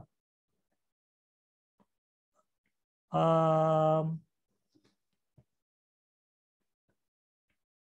yeah, autonomy. Promotes student agency. Give students autonomy to enable opportunities for relevant and meaningful learning. So autonomy bermaksud we the, the student uh, can can have some control they can make their own decision. They have choices on options. Peluang stud, uh, pelajar meneroka. Oh, meneroka. Ha, betul tu. Bagi yeah. kena create peluang untuk nak teroka sendiri supaya dia boleh um, kebolehan dia berhujah, menyatakan pandangan dia. Yes. Itu apa ni itu juga termasuk dalam autonomy ya. We empower and uh, apa ni give students to take uh, control. Yes. Hmm. Yeah. Macam ini kita uh, the instructor memberi pilihan kepada pelajar knowing that the student come from all parts of the world, different parts of the world. So dia ada juga kuis yang disediakan, kuis yang sama disediakan dalam bahasa yang berlainan. So kita mungkin belum sampai ke tahap itulah. Kalau kalau sasaran kita hanya kepada pelajar kita sendiri then probably this not relevant. Tapi kita boleh fikirkan cara lain juga mungkin kan uh, untuk memberikan option itu memberikan uh, autonomi memberikan uh, apa ni uh, pilihan kepada pelajar. Option tu pilihan lah kan. Okay time to begin. By the time you finish this course you will know many valuable learning techniques used by expert. Ini ini okay. Kemudian okay. Overdue ini saya punya lah ni yang overdue ni. Tak Okay. Ini pelajar yang malas ni. Okay. Tak disiplin. So, kita boleh tengok ya. Dia dia apa ni sepatutnya saya dah submit tapi saya tak submit lagi. Ha, itu yang jadi macam ni ni. Overdue. Estimated time. Ha, ini ini maklumat yang jadi sebagai bila, pelajar. Bila free macam tu lah. Ha, itu baru buat. Baru tengok sikit tu. Satu jam tu. Okay. Nampak tak dia punya progress tu. Ha, ini satu juga salah satu dari segi design, design, design element kalau platform itu mengizinkan ada feature-nya uh, jadi sebagai pelajar saya boleh nampak berapa banyak progress yang saya telah buat dan apa uh, assignment ataupun task yang saya belum uh, lengkapkan saya belum siapkan lagi. Ini maklumat-maklumat yang saya yang apa tu yang diberikan. Ya oh ada banyak lagi saya buat ni teruklah malu nak tunjuk. Okey right. Um, So kita boleh navigate the course. Kalau kita tengok di sini ya dari segi um, user user experience and design, the way the way the content is designed. Kalau kita go back to yang ini, uh, well organized course ni, okay.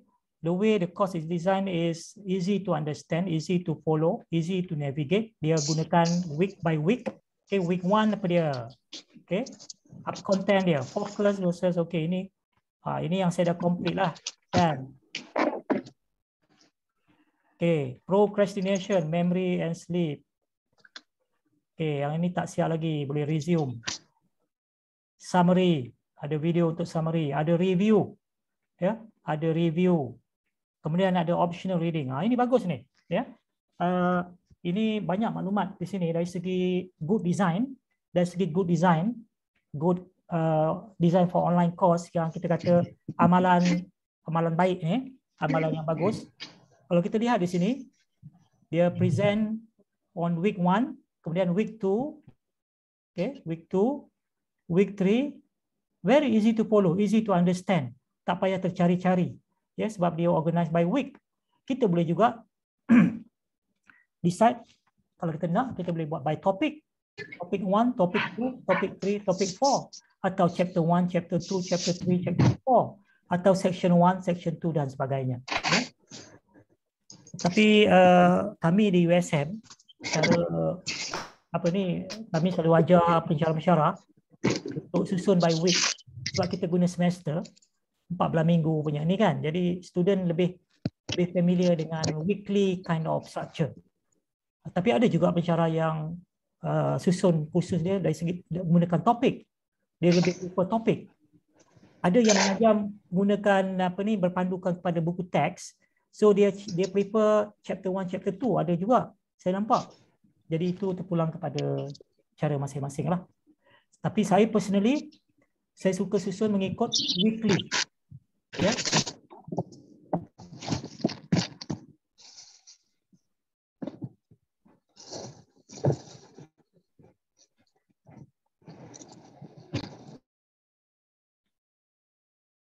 Okay. Saya susun secara, saya suka susun secara weekly punya structure. Okay. Kemudian uh, selain pada tu kita kita ada yang ini kontennya dari segi kursus kandungannya semuanya tertumpu kepada di sini. Kemudian kita ada grades. Okay. Kita ada grades.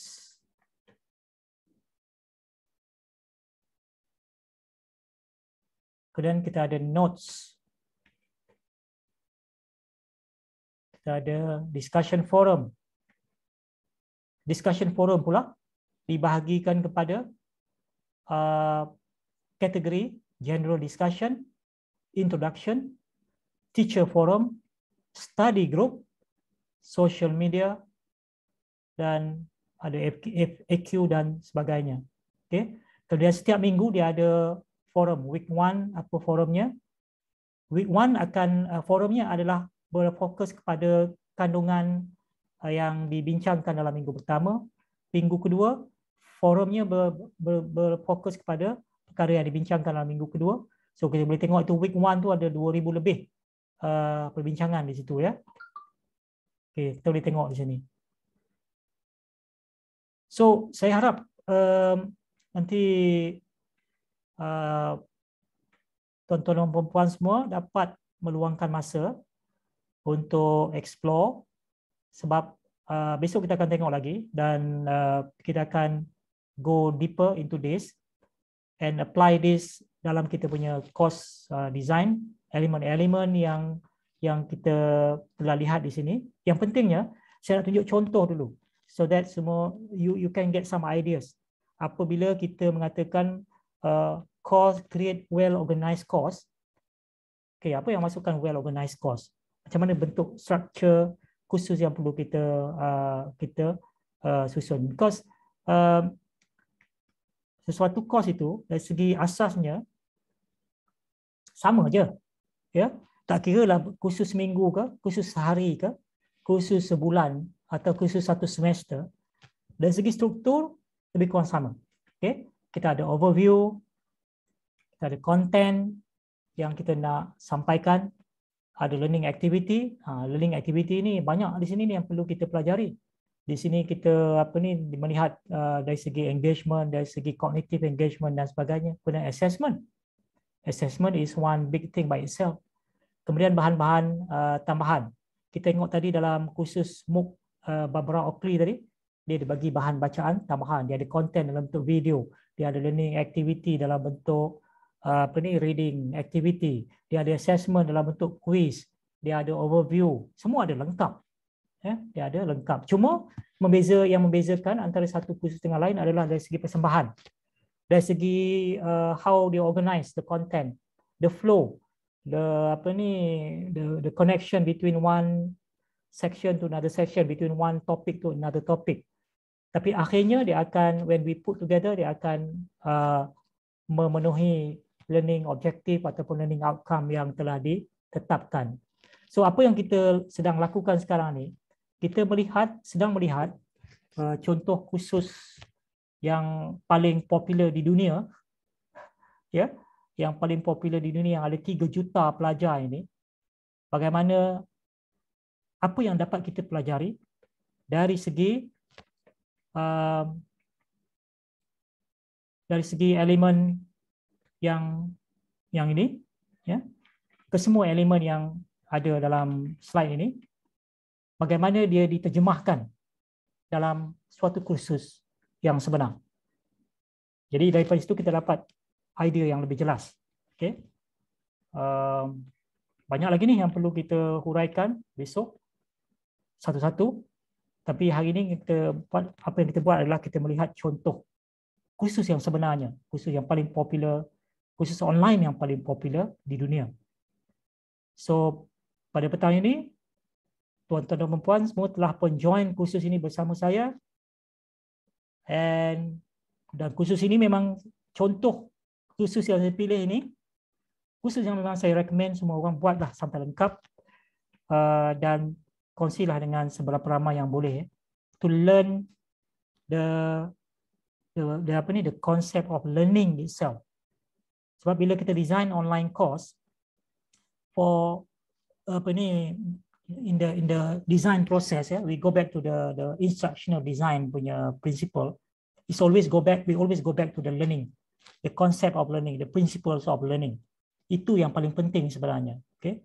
Jadi uh, dengan dengan mengikuti kursus ini sepenuhnya there there'll be a lot of things bukan setakat, setakat study teknik je. Study teknik ni satu bahagian aja tapi asasnya mengapa kaedah ini lebih berkesan daripada kaedah yang lain.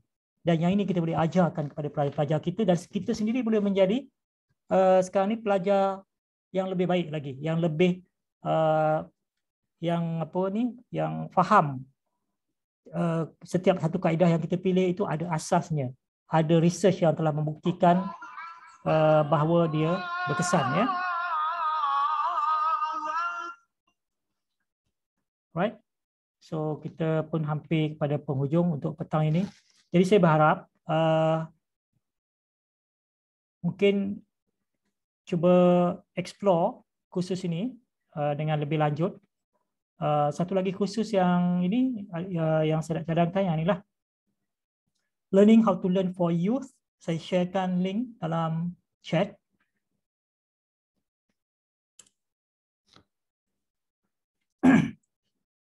dan ini pun best tapi saya belum enroll lagi sebenarnya. Tapi saya dah beli bukunya. Saya baca bukunya best ya.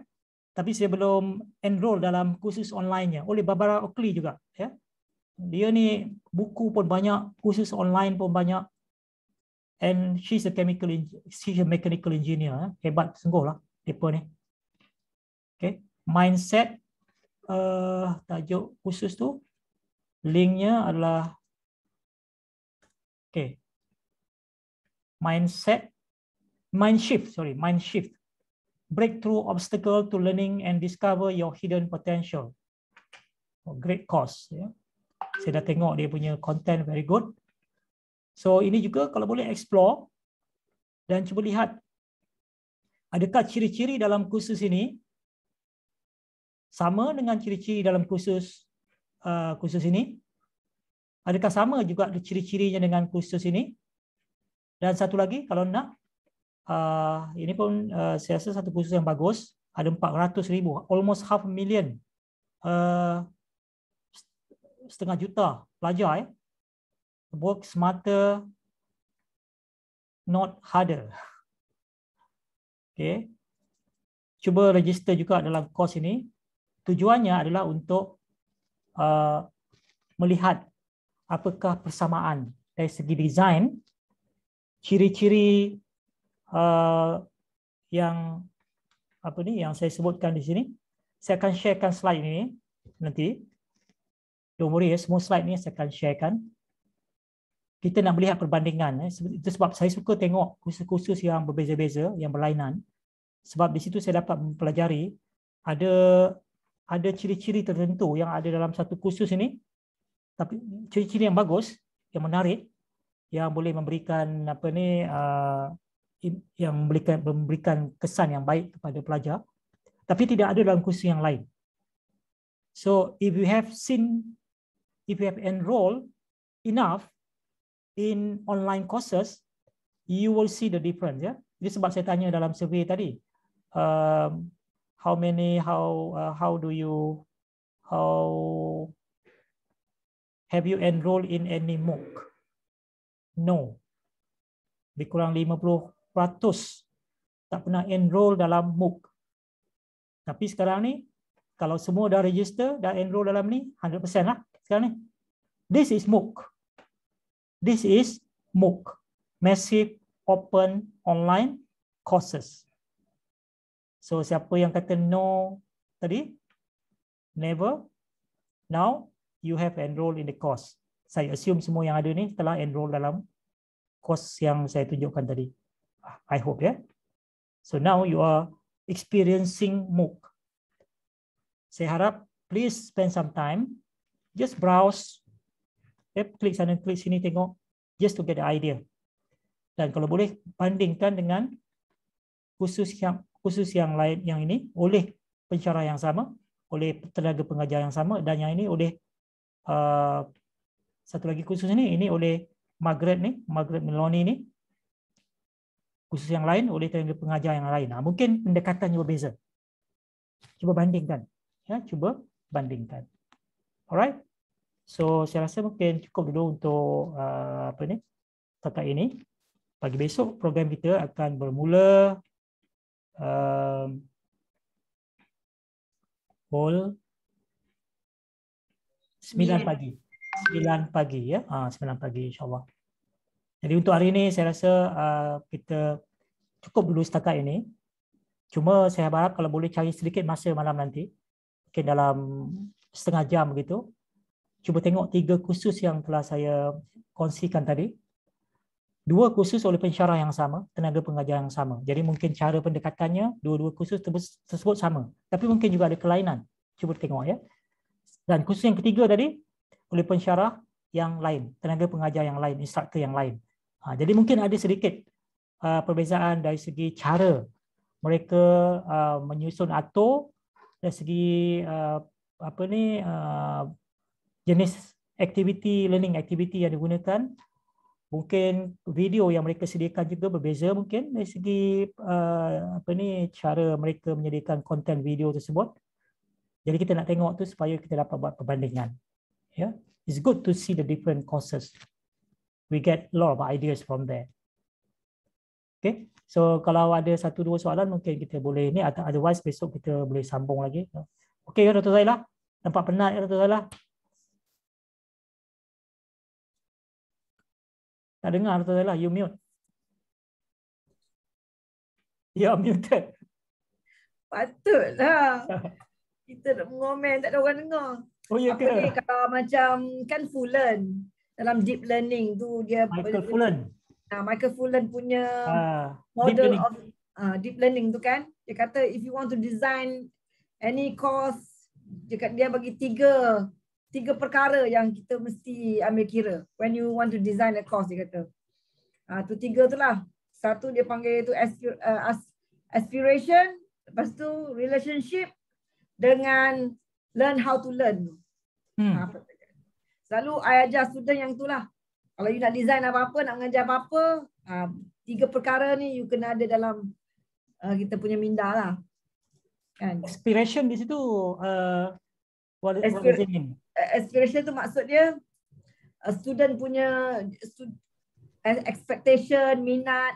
Uh, macam kalau macam kita budak kan, kita selalu kata, kata lah, uh, dia student tu kena tahu apa teacher expect dia should be able to do. Uh, dia nak jadi apa besok. Ataupun dia pun mesti ada kita kena nampakkan dia apa kita harap dia nak jadi apa. Ataupun apa dia punya cita-cita. Budak tu kena tahu dulu Kan? Ah, apa kita mesti tahu budak budak kita minat apa. Uh, because kalau dia buat something yang dia minat, dia akan successful. Ya. Kan? Uh, itu contohlah. Itu, dia itu yang, kan, ya. Itu yang tadi saya katakan, uh, kalau ingat, ingat dalam slide tadi, know your student. Dia uh. number one tu. Number uh. one. Know your target student. Sasaran, kumpulan sasaran kita. Siapa mereka, apa yang apa ni apa yang sebenarnya mereka nak pelajari. Hmm. So, jadi kita jadikan itu sebagai anchor, sebagai sebagai anchor point. Uh, then hmm. kita boleh design khusus kita untuk memenuhi uh, memenuhi aspirasi mereka lah in this case. Uh, betul lah tu memang. Ada satu lagi contoh. Yeah. Student uh, kalau learn how to learn tu kalau to ensure student success, student ni perlu kepada feedback, maklum balas. So hmm. mana when you design a course, you must assure macam mana maklum balas tu diberikan. Yes for example. Actually, ya, yeah, betul betul. Maklum uh, feedback itu memang wajib lah. Itu memang elemen yang perlu ada. Walaupun Dan, dalam bentuk online kan. So yes. how do you give feedback? How do you give feedback? Ah, besok kita akan tengok tu. How do you hmm. give feedback? Ah, itu memang elemen penting. Tu, uh, lagi tu ditekankan relationship. Yeah. Ha, macam mana relationship you the teacher with the or with the student, student and student kan remember dalam slide tadi uh, hmm. relationship itu yang saya sebutkan dari segi connection. Hmm. uh, dari segi connection. Dalam community of inquiry yang ini di cover uh, ini di, dimasukkan di bawah yang kita panggil sebagai social presence. Social presence. So besok kita akan dive in kepada community of inquiry sebab nampaknya apa ni uh, ramai yang daripada previous batch pun dah lupa dah community of inquiry ni So kita akan tengok balik sebab yang itu kalau kita berpandukan pada itu you can't go you can't go wrong. Bila you design you punya online course, kalau kita betul-betul faham community of inquiry, you cannot go wrong. Cannot go wrong. Semua kita akan masukkan elemen-elemen tadi yang ada dalam slide tadi itu. InsyaAllah. So besok kita kita zoom in kepada community of inquiry, social present, teaching present, cognitive present. Cognitive present banyak juga kita telah bincangkan ya. Uh, cuma dari segi aktiviti-aktiviti itulah yang perlu kita pilih. Yang mana yang sesuai yang low condition high condition dan sebagainya ya.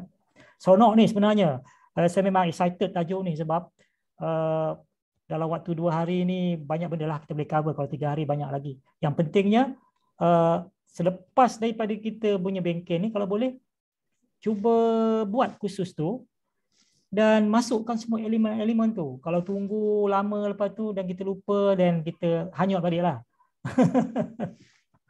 uh, actually Prof, uh, yeah, yeah. kita basically dah ada.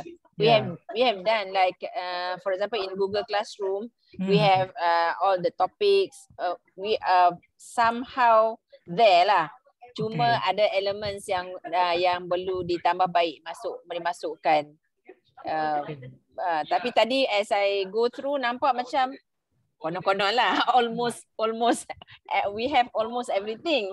Cuma no no lah we have not I have not gone through the ni maybe hmm. ada lagi benda yang uh, the kenapa dia sampai berapa berapa juta tadi? The tiga tiga juta. Ah so hmm. uh, itulah nak tonight tonight insyaallah. kan. Yeah. okay.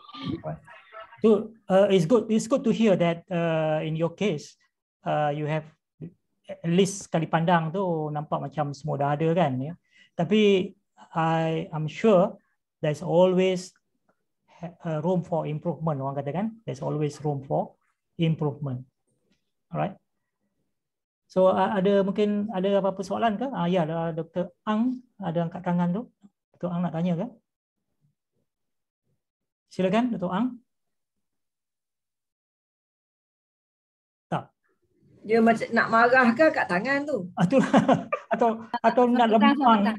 Atau nak lempang. Macam nak lempang orang. Kot. Kalau Webex kan Prof ada yang tepuk tangan lah apa tu. Oh, I see. Tentang Prof. Ya, ya. Uh, saya mencari-cari ikon untuk apa ni mikrofon ni sebab jarang guna guna Zoom, Zoom kan.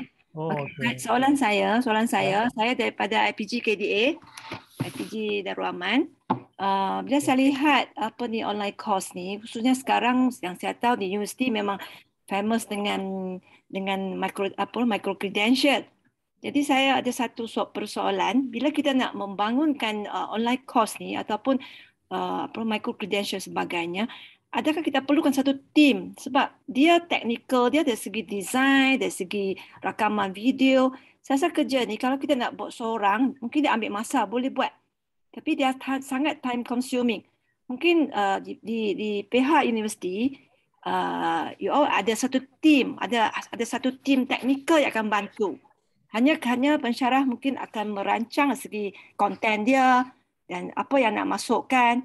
Tapi dari segi teknikal tu macam mana? Sebab saya lihat ini dia dia, dia perlukan satu effort yang dia kena teamwork lah teamwork. Adakah begitu? Ya uh, kalau secara tradisional production of uh, online course yang uh, yang biasa dilakukan memang ada tim jadi ada jadi kita sebenarnya jadi SME subject matter expert. So kita akan menyediakan bahan uh, dan kita akan bekerjasama dengan production team. Dalam production team tu biasanya uh, ada ID, instructional designers.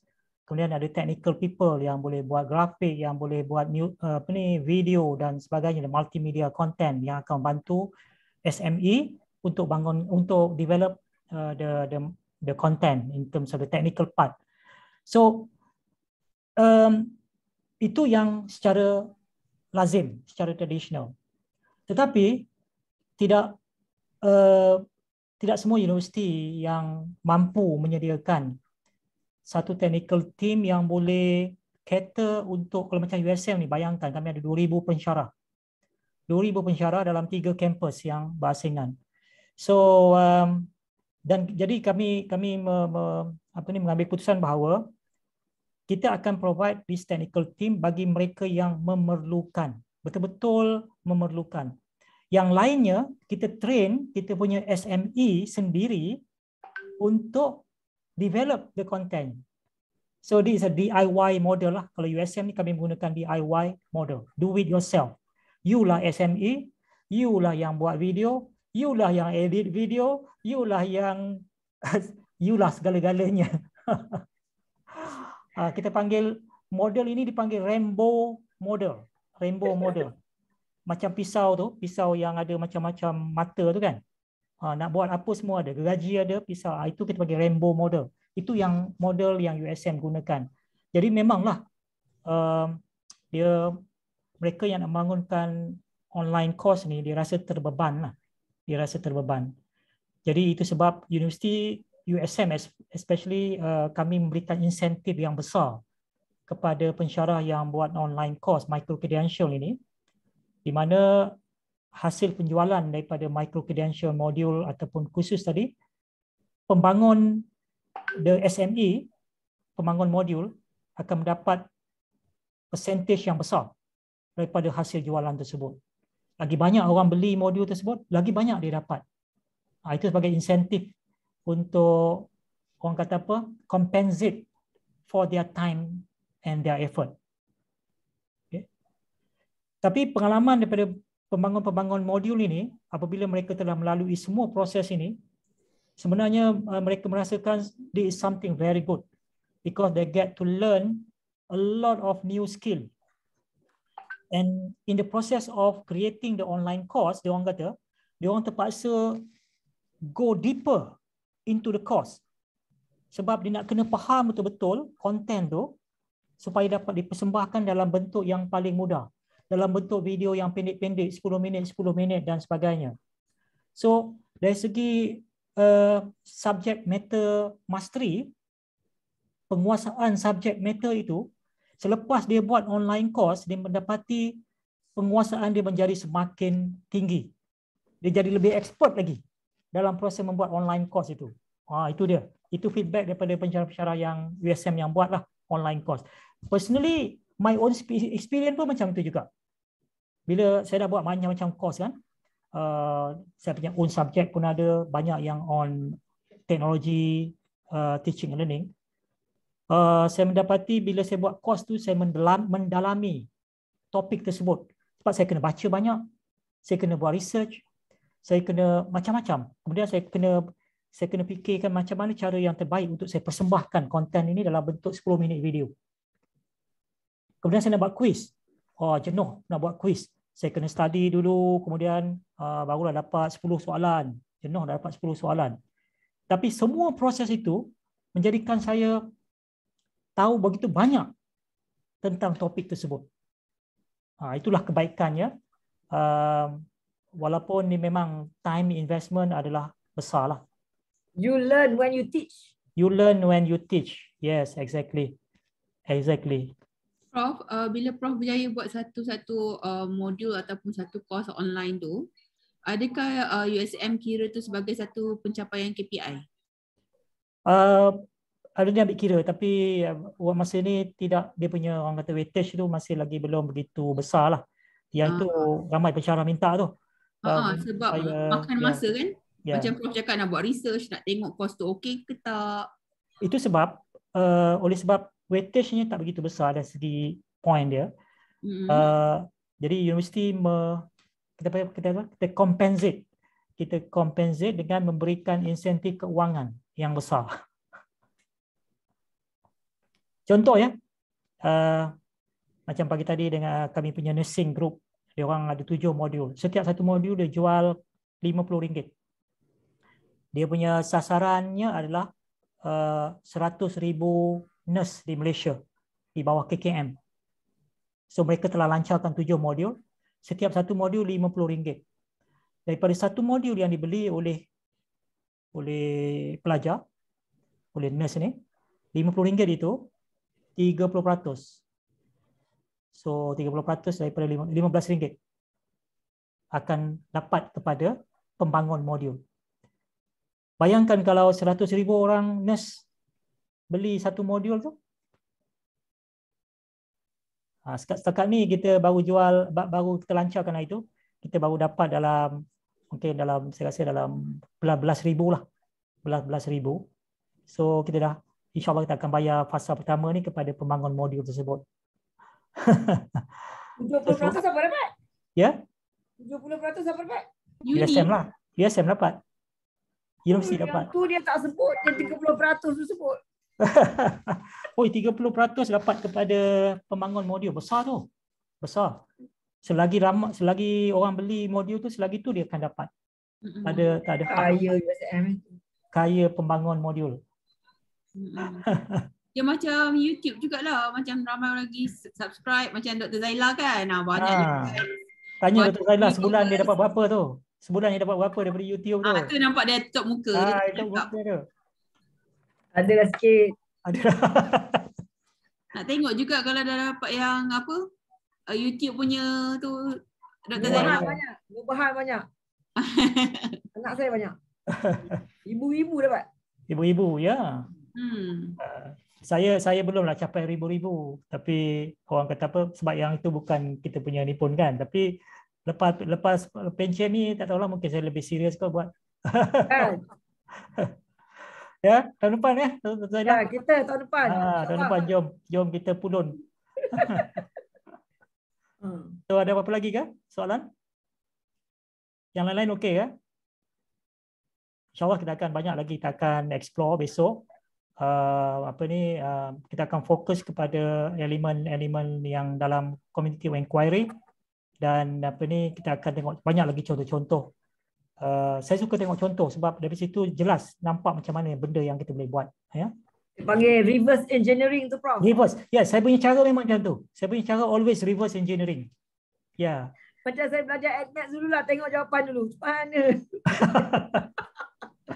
Ngelat hmm. that, okay. that, itu pun yeah. cara belajar. That's how China they innovate. It's more reverse engineering. Ya, yeah, to to be to be honest kan, apa ni nak cerita kat very short ya. Masa hmm. saya punya first degree, saya apa ni buat satu kursus thermodynamic ni eh, bagi siapa yang mungkin ah uh, Dr. Zailah tahu lah thermodynamic how difficult is how tough yes. is it kan. Saya tak score, saya tak dapat A lah. Itu ceritanya, saya dapat A. Bila saya pergi UK, saya buat masters, uh, masters in food process engineering. Yang mengajar tu someone from industry. Dia dah pension dah pun. Dia dah bersara tapi dia mengajar. Dia mengajar, orang kata betul-betul lah, reverse engineering. Dia problem based.